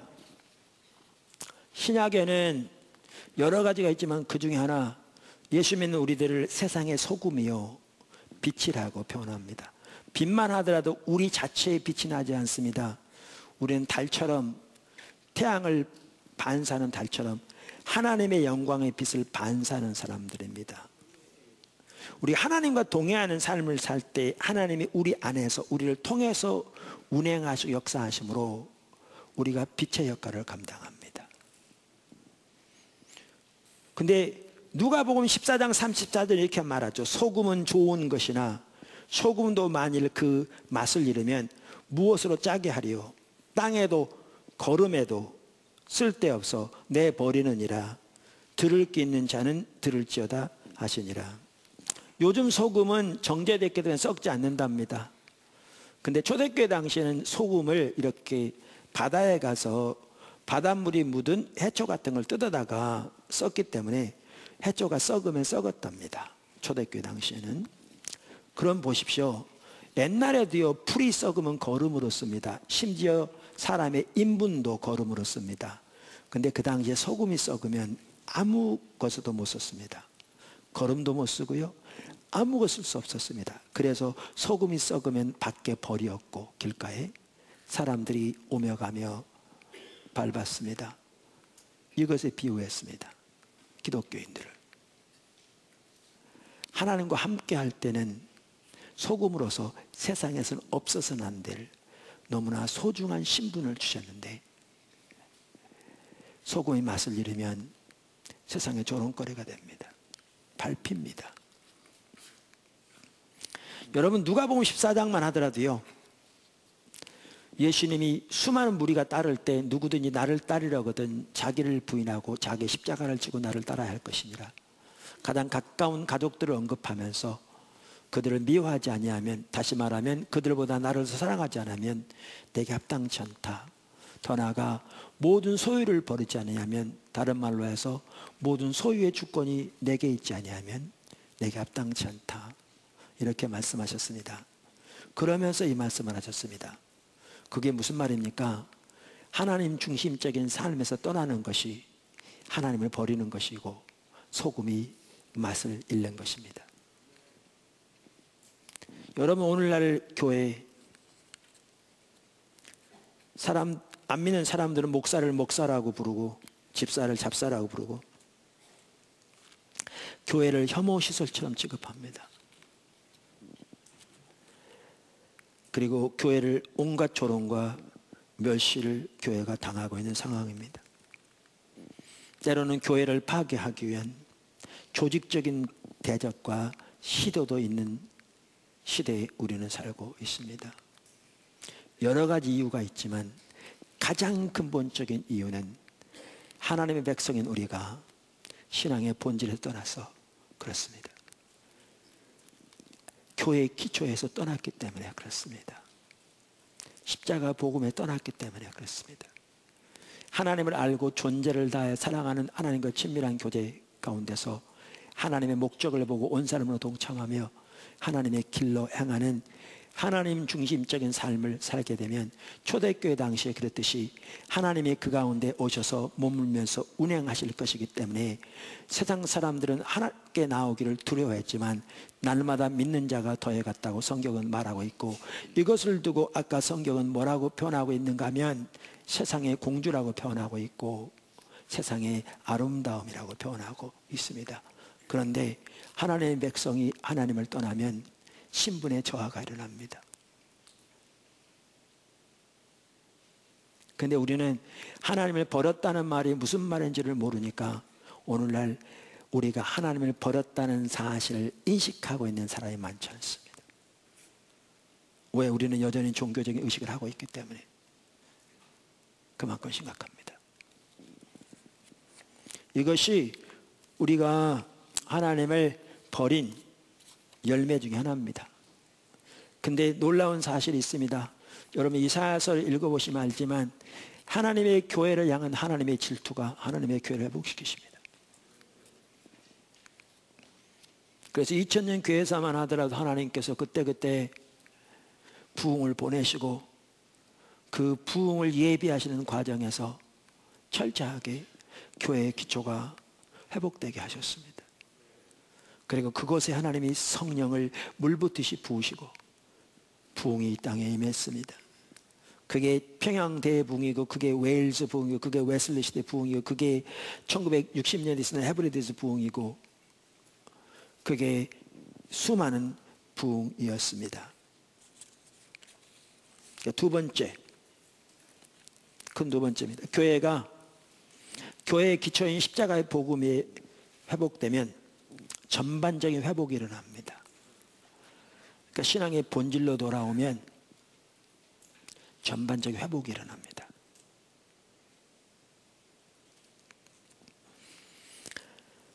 에, 자, 그 아래 작은 첫 번째, 하나님의 전반적인 생명의 역사가 회복됩니다. 하나님의 전반적인 생명 역사 회복됩니다. 이걸 가장 잘 볼 수 있는 구절 중에 하나가 사무엘상 7장입니다. 사무엘상은 우리가 과거에도 보았지만 오늘날 이 시대에 너무나 중요한 구절이고요. 저는 개인적으로 사무엘상 7장이 우리에게도 매우 중요한 구절이라고 생각하고요. 저는 개인적으로 하나님이 우리가 저와 여러분이 이 시대에 사무엘이 되기를 원하신다고 믿습니다. 깨닫는 모든 사람들이 다 이 방송을 듣는 그래서 이 구절이 참 중요합니다. 거기에 미스바 성회에 대한 얘기가 나옵니다. 오늘날 때로는 미스바 성회라는 이름으로 모여서 금식하고 기도하면 우리나라에 회복이 있을 줄 아는데 그 기도 중요합니다. 우리는 기도해야 합니다. 그러나 여기 성경에 나오는 미스바 성회는 단순한 하나의 의식이 아니었습니다. 이 미스바 성회가 소중했던 것은 그것이 그들이 그 당시 이스라엘 백성들이 신앙의 본질로 돌이킨 사건이었습니다. 그래서 중요합니다. 3회상 7장 1절을 보십시오. 기랏 여아림 사람들이 와서 여호와의 궤를 옮겨 산에 사는 아비나답의 집에 들여놓고 그의 아들 엘리, 엘리아사를 거룩하게 구별하여 여호와의 궤를 지키게 하였더니 궤가 기앗 여아림에 들어온 날부터 20년 동안 오래 있은지라 이스라엘 온 족속이 여호와를 사모하니라. 어 그러니까 보십시오. 엘리 시대 언약궤를 빼앗겼습니다. 그런데 하나님이 언약궤로 인하여 많은 화를 에, 뭐죠? 어, 블레셋에 보내니까 그들이 언약궤를 돌려보냈습니다. 그 돌려, 돌아와서 어디에 있게 되었냐면 여기 나와 있는 대로 기랏 여아림에 있게 되었고요. 20년이 지났습니다. 그 당시 이스라엘 백성들이 언약궤를 가져오자 할 때 언약궤가 기랏 여아림에 있으니 하나님이 거기를 복을 주신다. 우리에게 하나님 복이 필요하다. 그래서 우리 언약궤를 가져오자 이렇게 가져온 게 아니었습니다. 그렇게 가져왔더라면 아무런 의미가 없었을 겁니다. 그게 엘리 시대 했던 일입니다. 그들이 하나님을 떠나 있었던 거로 버렸던 상황에서 그러니까 하나님 함께하지 않으니까 그들이 패배했는데 그들은 자기들이 하나님 버렸다는 사실도 인식하지 못한 채 언약계만 메고 나가면 이길 줄 알았습니다. 그래서 언약계를 메고 나갔더니 이기기는커녕 3만 명 이상 죽고 언약계까지 빼앗겼습니다. 하나님과의 인격적인 관계는 멀어져 있고 하나님의 길로 향하는 삶에서는 철저히 떠나 있는 채 하나님의 목적에는 관심도 없이 자기 목적을 위해 살아가면서 그저 종교적인 의식만 하는 것은 아무런 쓸모없는 율법주의입니다. 너무너무 타락한 겁니다. 그래서 그건 아무런 의미가 없었습니다. 이 사무엘 시대도 만약에 그들이 그렇게 했더라면 아무런 의미가 없었습니다. 근데 이 사건은 단순히 미스바에서 모여서 기도한 하나의 사건이 아니고 그들이 근본적으로 신앙의 본질로 돌이킨 사건이었습니다. 그래서 여기 보시면 7장 2절에 20년 동안 오래 있은지라 이스라엘 온 족속이 여호와를 사모하니라 그랬는데 영어 NIV 성경에 보면 그들이 여호와를 찾았다 이렇게 되어 있습니다. 하나님께 돌아오는 길에 가장 첫 번째는 하나님을 찾는 것, 즉 하나님의 얼굴을 구하는 것부터 시작됩니다. 그분 자신을 찾는 것. 그러면 3절에 사무엘이 온 이스라엘 족속 이스라엘 온 족속에게 말하 이르되 만일 너희가 전심으로 마음을 다하여 여호와께 돌아오려거든 이방 신들과 아스타롯을 너희 중에서 제거하고 너희 마음을 여호와께로 향하여 그만을 그분만을 섬기라 그리하면 너희를 블레셋 사람의 손에서 건져내시리라 이에 이스라엘 자손이 바알들과 아스타롯을 제거하고 여호와만 섬기니라 보십시오 신앙의 본질로 돌아온 사건이었습니다 그랬더니 그때 보면 하나님의 생명 역사들이 전반적으로 그들의 삶에 회복됐습니다. 몇 가지만 나열하면요. 하나는 하나님께서 그들의 기도를 응답하셨습니다. 8절 이스라엘 자손이 사무엘에게 이르되 당신은 우리를 위하여 우리 하나님 여호와께 쉬지 말고 부르짖어 우리를 블레셋 사람들의 손에서 구원하시게 하소서 하니 사무엘이 젖먹는 어린 양 하나를 가져다가 온전한 번제를 여호와께 드리고 이스라엘을 위하여 여호와께 부르짖음에 여호와께서 응답하셨더라. 보십시오. 하나님께 돌아왔더니 하나님께서 그들에게 돌아오셔서 전반적으로 생명의 역사들이 회복되는데 그 중에 하나가 뭐였느냐? 기도 응답이 회복되었습니다. 여러분 이사야 시대는 그 많은 종교적인 의식이 있었습니다. 안식일, 월사 모든 대회와 절기를 성경대로 철저히 지키고 가장 살지고 가장 좋은 수송할 순념소 어린 양 등 성경에 규정한 제물들을 하나님께 무수히 드리고 많이 기도했는데 그들의 기도에 하나님께 말씀하셨습니다. 너희가 손을 펼때 내가 내 눈을 너희에게서 가리고 너희가 많이 기도할지라도 듣지 아니하리니 말라키 시대는 심지어 그들이 얼마나 하나님께 부르짖었던지 눈물 때문에 가려 성전이 보이지 않을 만큼 하나님께 기도했습니다. 근데 하나님께 듣지 않으셨습니다. 뭐예요? 그들이 하나님 버린 상태에 있었기 때문에 그렇습니다. 근데 사무엘 시대에는 저들이 하나님께 돌아왔더니 신앙의 본질로 돌아왔더니 오늘날로 말하면 교회가 철저하게 예수 그리스도의 터 위에 세워지면 하나님의 전반적인 뭐죠? 그 생명의 역사가 회복되는데 기도 응답이 회복됩니다. 기도 응답이. 하나님께서 그들의 예배를 받으셨습니다. 제가 여기다 그걸 안 가져왔는데 가끔 언급하잖아요. 오카는 목사님이 소천하신 해에 어, 그 크리스천 투데이 한국판에 원고를 쓰셨는데 거기에 보니까 그렇게 써 있더라고. 그 제목이 교회 이렇게 무너지다니였어요.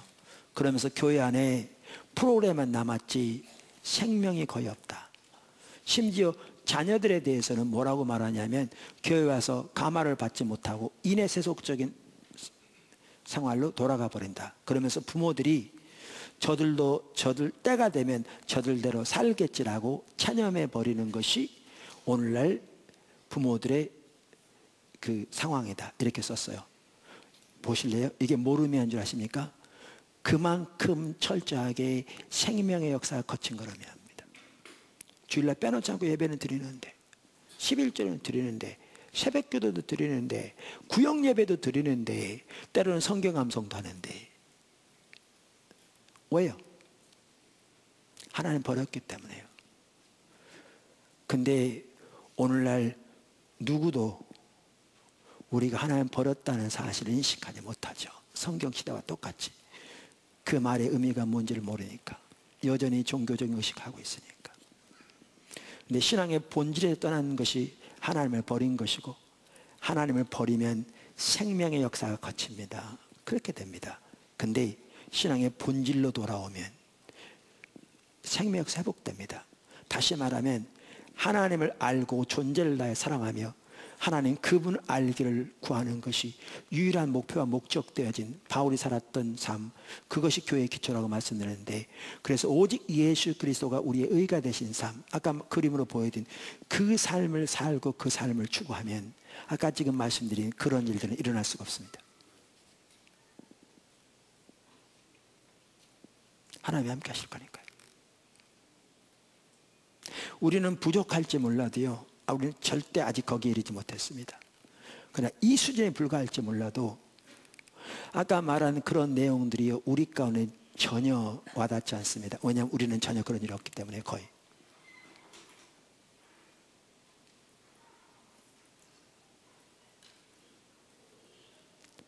심지어 영화부부터 하나님이 함께 하시는데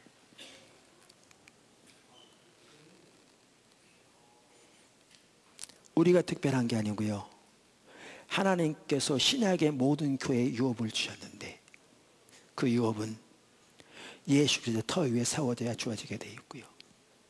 하나님의 모든 유업은 신앙의 본질로 돌아와야 그것이 실제적으로 이루어지게 되어 있습니다.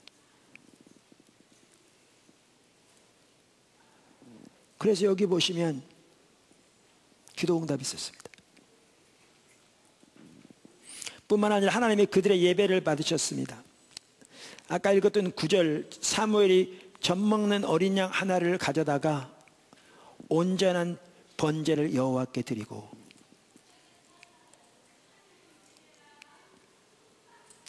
오늘날 너무나 많은 목회자들과 성도들은 예배를 생각할 때 외부적인 모양을 생각합니다. 정말 타락해 있습니다.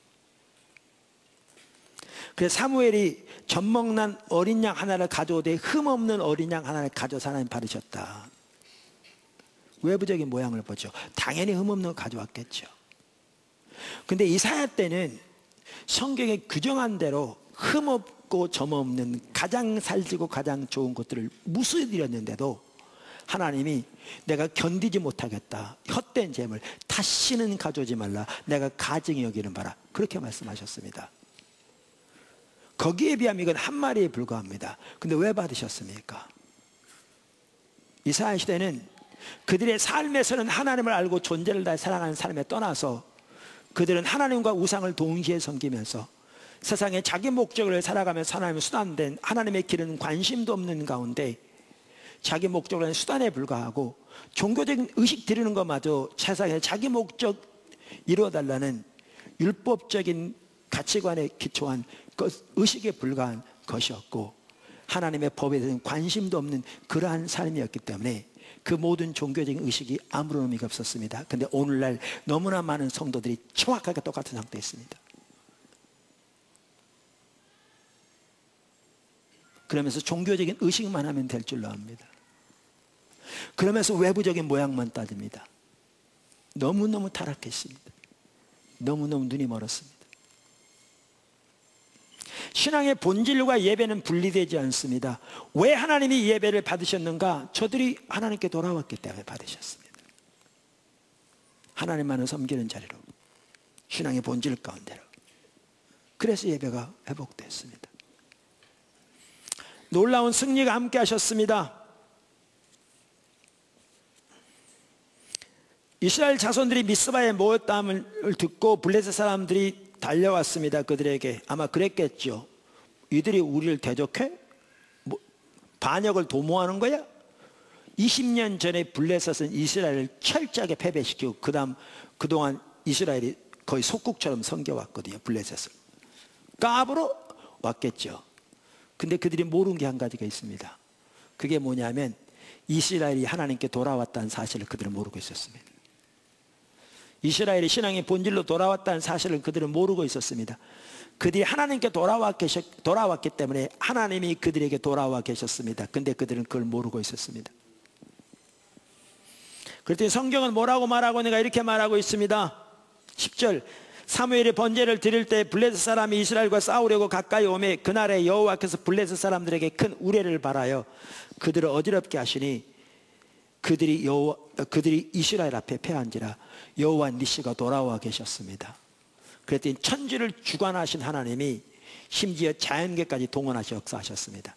제가 어느 주석에 보니까 그 시기는 천둥과 우레가 치는 시기가 아니랍니다. 하나님께서 천둥과 우레까지 동원하셔서 그들을 그 적들을 물리치셨습니다. 여호와 니시가 돌아와 계셨습니다. 엘리 사강과 정반대 상황이었습니다. 엘리 때는 그렇게 하나님을 떠나 있는데도 깨닫지 못하고 종교적인 의식만 의지했는데 이들이 하나님을 찾으면서 신앙의 본질로 돌아오게 된 게 거기서 중요한 역할을 한 사람이 누군가? 사무엘입니다. 그래서 이 시대에 사무엘이 중요하다 그 말입니다. 그래서 여러분이 이 시대에 사무엘이 되시라 그 말입니다. 하나님 보호가 그들에게 함께 하셨습니다. 사무엘이 사는 동안에 다른 말로 하면 그 말은 그들이 신앙의 본질 가운데 하나님과 동의하는 동안에 그 뜻입니다. 블레셋 사람들이 이스라엘 지역 안에 들어오지 못했다. 이렇게 표현하고 있습니다. 13절에. 아사왕 때도 저들이 하나님을 찾았더니 20년 동안 전쟁이 멈췄다. 하나님은 그 나라를 보호하셨습니다. 그들 가운데 하나님 평강이 있었습니다. 그래서 이스라엘 사방에 평화가 있었더라 이렇게 표현하고 있습니다. 샬롬이 함께 있었습니다.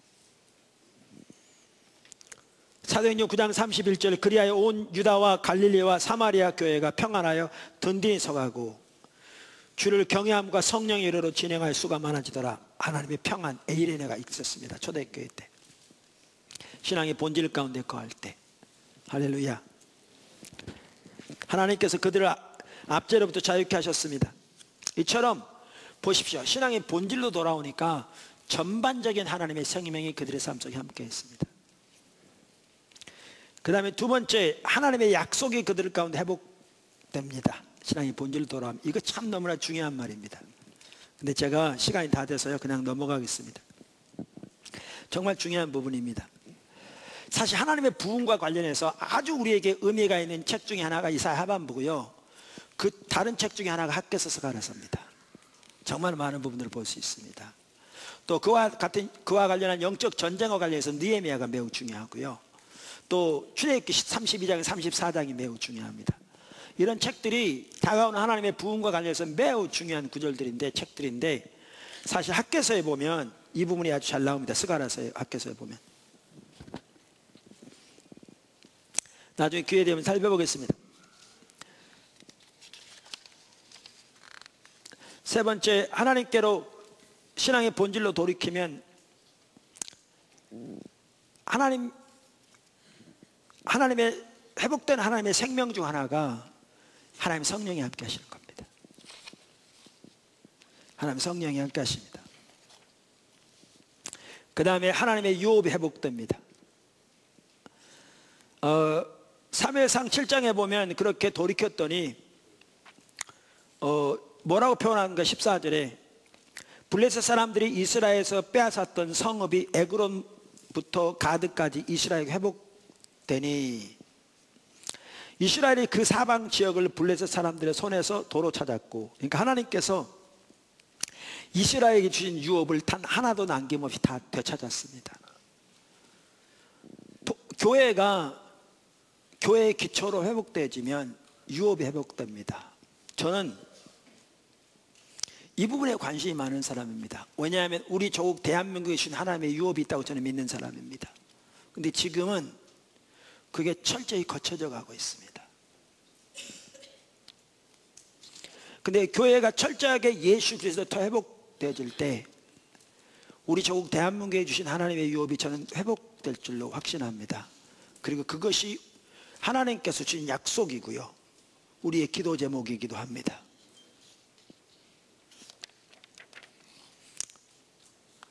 제가 지난주에 KWMA 운영이사에 있어서 다녀왔는데 작년 한 해 동안 한국에서 파송한 선교사 수가 늘지 않았답니다. 전혀. 우리나라에서 선교사를 가장 많이 파송한 모 교단, 장로 교단 중에 그 교단만 하더라도 2025년까지 600명 가량이 은퇴한답니다. 2025년은 불과 8년 남았습니다. 근데 그 600명은 전체 그 교단에서 파송한 숫자의 4분의 1입니다. 제가 우리 침례 교단의 동일한 그 이 뭐지 통계를 좀 알려달라고 해외 선교부 회장님에게 문자를 넣었는데 조사해서 보내주겠다고 하는데 아직 안 왔습니다. 무슨 얘기냐? 몇 년만 지나면 선교사 수 팍팍 줄어듭니다.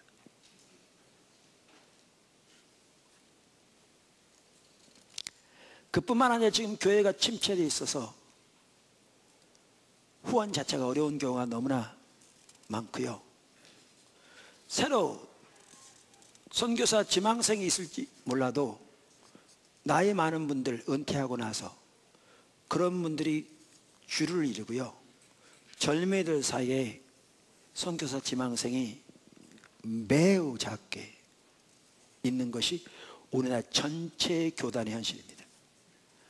수많은 선교단체들이 1년에 두 차례씩 선교사 훈련하던 것을 한 차례로 줄여가고 있습니다. 대세입니다. 옛날 오래전부터 예견된 일입니다. 하나님을 떠나면 생명이 거치게 되어 있습니다. 근데 우리 하나님이 떠났다는 사실을 인식하지 못하고 있을 따름입니다. 그런데 저는 늦지 않았다고 믿습니다. 그러니까 교회만 하더라도 그렇습니다. 자주 말씀드린 대로 최윤식 박사가 하는 얘기가 그 얘기거든요. 최윤식 박사가.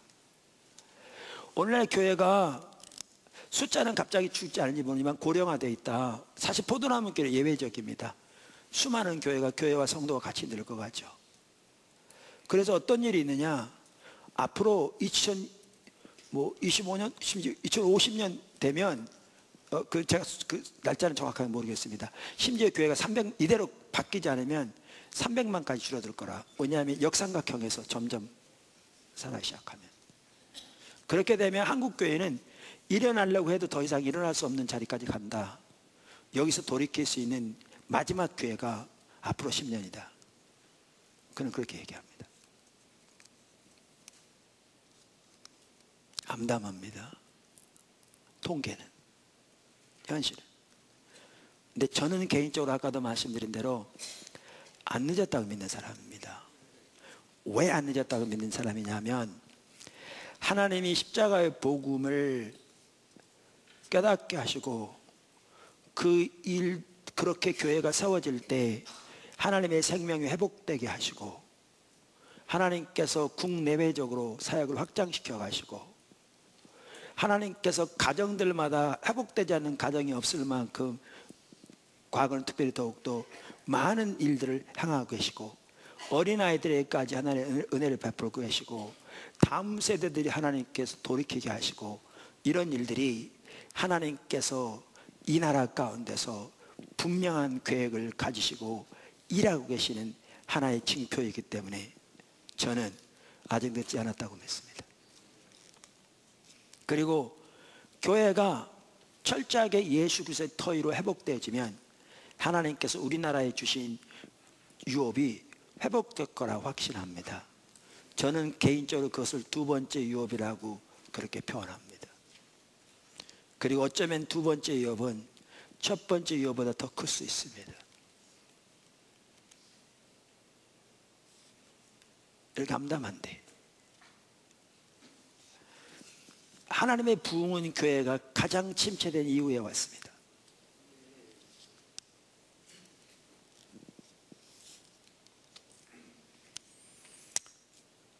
유업이 회복되고요. 다섯 번째, 하나님의 백성의 신분이 회복됩니다. 아까 말씀드린 대로 신분이 새로 주어진다는 말이 아니라 신분의 실제적인 역사가 회복되어집니다. 제가 이 부분을 여러분에게 더 나누고자 하는 겁니다. 오늘 설교 길게 안 합니다. 제가 거의 다 마쳤습니다. 자, 보십시오. 우리가 하나님의 자녀입니다. 하나님을 아바 아버지라 부릅니다. 거기에 포함된 내용이 너무나 많은 위대한 것임을 우리가 이미 살펴보았고요. 제 책들에도 있습니다. 근데 보십시오. 그 실제적인 역사가 여러분 삶 속에 이루어지고 있지 않다면 여러분 하나님 떠나 있는 겁니다. 하나님의 아들 된 삶, 그리고 그 아들에게 약속하신 그 놀라운 하나님의 유업들이 실질적으로 여러분의 삶 속에 오늘날 함께하고 있지 않다면 여러분은 하나님을 버린 상태에 있습니다. 하나님께 돌아와야 합니다. 집중적으로 하나님을 구하고 철저하게 예수 그리스도의 터 위에 세워져야 합니다. 그러면 하나님의 자녀된 그 삶이 의미하는 실제가 여러분 삶 속에 실제적으로 나타날 겁니다. 그게 우리 신앙생활입니다. 그런 점에서 볼때 포도나무 교회를 하나님께 참 놀라우게 함께하고 계십니다. 그러나 한편으로는 우리는 절대로 바람직한 자리에 있지 않습니다. 갈 길이 멉니다. 정말 우리 한 사람 한 사람 삶 속에 교회의 삶 속에 우리가 하나님의 아들 된 우리가 교회 하나님의 성전 된 그래서 신부 된 하나님 나라의 백성 된 그 삶의 실제와 능력과 그 역사가 우리 가운데 지금보다는 비교도 안 될 만큼 더 함께 하기를 기도하고 추구하고 달려가야 합니다. 이렇게 되어질 때 나타나는 게 뭐냐면 하나님의 백성의 신분이 회복되는 겁니다. 여러분 삶 속에 하나님의 백성의 신분이 회복되기를 주님으로 축원합니다.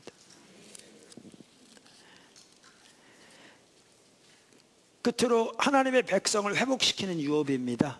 아까 언급한 것처럼 우리가 하나님께 돌아가면 하나님의 우리의 모든 삶에서 회복의 역사가 일어날 뿐만 아니라 하나님의 백성들에게 주신 유업 중에 하나가 뭐냐 하면 황폐한 것을 회복시키는 유업을 주셨습니다. 이게 회복과도 관련되고 부흥과도 관련됩니다. 그게 제가 몇 구절만 읽어보겠습니다. 지금 시간이 다 됐기 때문에. 이사야서 54장 3절 이는 내가 좌우로 퍼지며 내 자손은 열방을 얻으며 황폐한 성읍들을 사람 살 곳이 되게 할 것임이라. 이 예언들이요 가장 먼저는 이스라엘 백성들의 바벨론 포로에서 회복될 것을 말하는 구절들입니다. 그러나 그거 못지않게 교회 회복에 대한 교회에 대한 유업이기도 합니다. 아까 설명드렸고요. 여러분 주석들을 보아도 그런 부분들을 언급하고 있는 걸 볼 수 있습니다. 이사야서 54장 12, 50, 죄송합니다. 58장 12절. 내게서 날짜들이 오래 황폐한 곳들을 다시 세울 것이며 너는 역대의 파괴된 기초를 쌓으리니 너를 일컬어 무너진 데를 보수하는 자라 할 것이며 길을 수축하여 거할 것이 되게 하는 자라 할 것이라.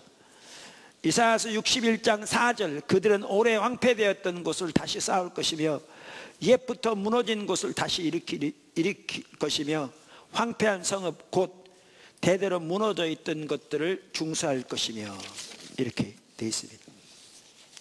제가 하나님께서 포도나무 교회에게 우리를 인도하시면서 구체적으로 특별한 사건들 이렇게 이걸 영적 랜드마크라고 하는데 쭉 연결해 봤다고 그랬잖아요. 조목별로 그게 40페이지가 넘었습니다. 제가 리더들과 함께 1박 2일 이건 모여서 그것만을 좀 나누고 싶습니다. 그러면 하나님의 비전이 선명히 보일 겁니다. 그런데 회복과 관련해서 마찬가지입니다. 그래서 신부를 준비시키도록 인도하신 것이라든가 예수께서 37장의 사건들을 선명히 깨닫게 하시면서 오늘날의 교회가 얼마나 마른 뼈처럼 있는데 그들을 하나님의 군대로 세우실 하나님의 의도를 기도 중에 알게 하신 여러 가지 사건들이요. 바로 이 부분을 말씀하십니다. 신앙의 본질 가운데 설 때 우리가 회복되지는데 2000년 교회사를 보더라도 하나님의 회복이 있는 곳마다 다른 교회가 그렇게 회복되지도록 섬기게 하셨습니다. 여기에 포도나무 교회 소명이 있습니다. 그래서 우리는 우리 자신이 집중적으로 주님을 추구하는 가운데 우리 삶 속에 하나님의 아들로서 그리스도의 신부로서 하나님의 성전으로서의 실제적인 삶이 우리 삶 속에 나타나고 전반적인 면에서 하나님의 생명이 회복되도록 추구할 뿐만 아니라 더 나아가 이 나라의 모든 교회가 열방의 모든 교회 가운데 그렇게 하나님의 회복의 역사가 임하도록 끊임없이 기도하고 섬기도록 우리를 부르셨습니다. 그 일을 감당해야 합니다.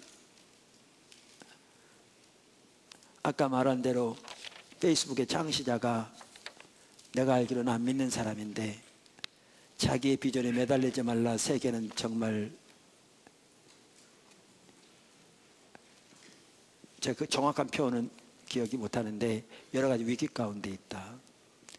큰 비전을 보라 세계를 향한 그랬는데 여러분 여러분의 작은 일에 매달려서 앞을 보지 못하는 장님 되지 말고 정말 원래 한국 교회가 열방 가운 어, 한국 교회가 처해 있는 상황 열방 가운데 향하신, 향하신 하나님 향하시는 보고 그 일에 드려지는 삶을 살게 되기를 주님의 축원합니다.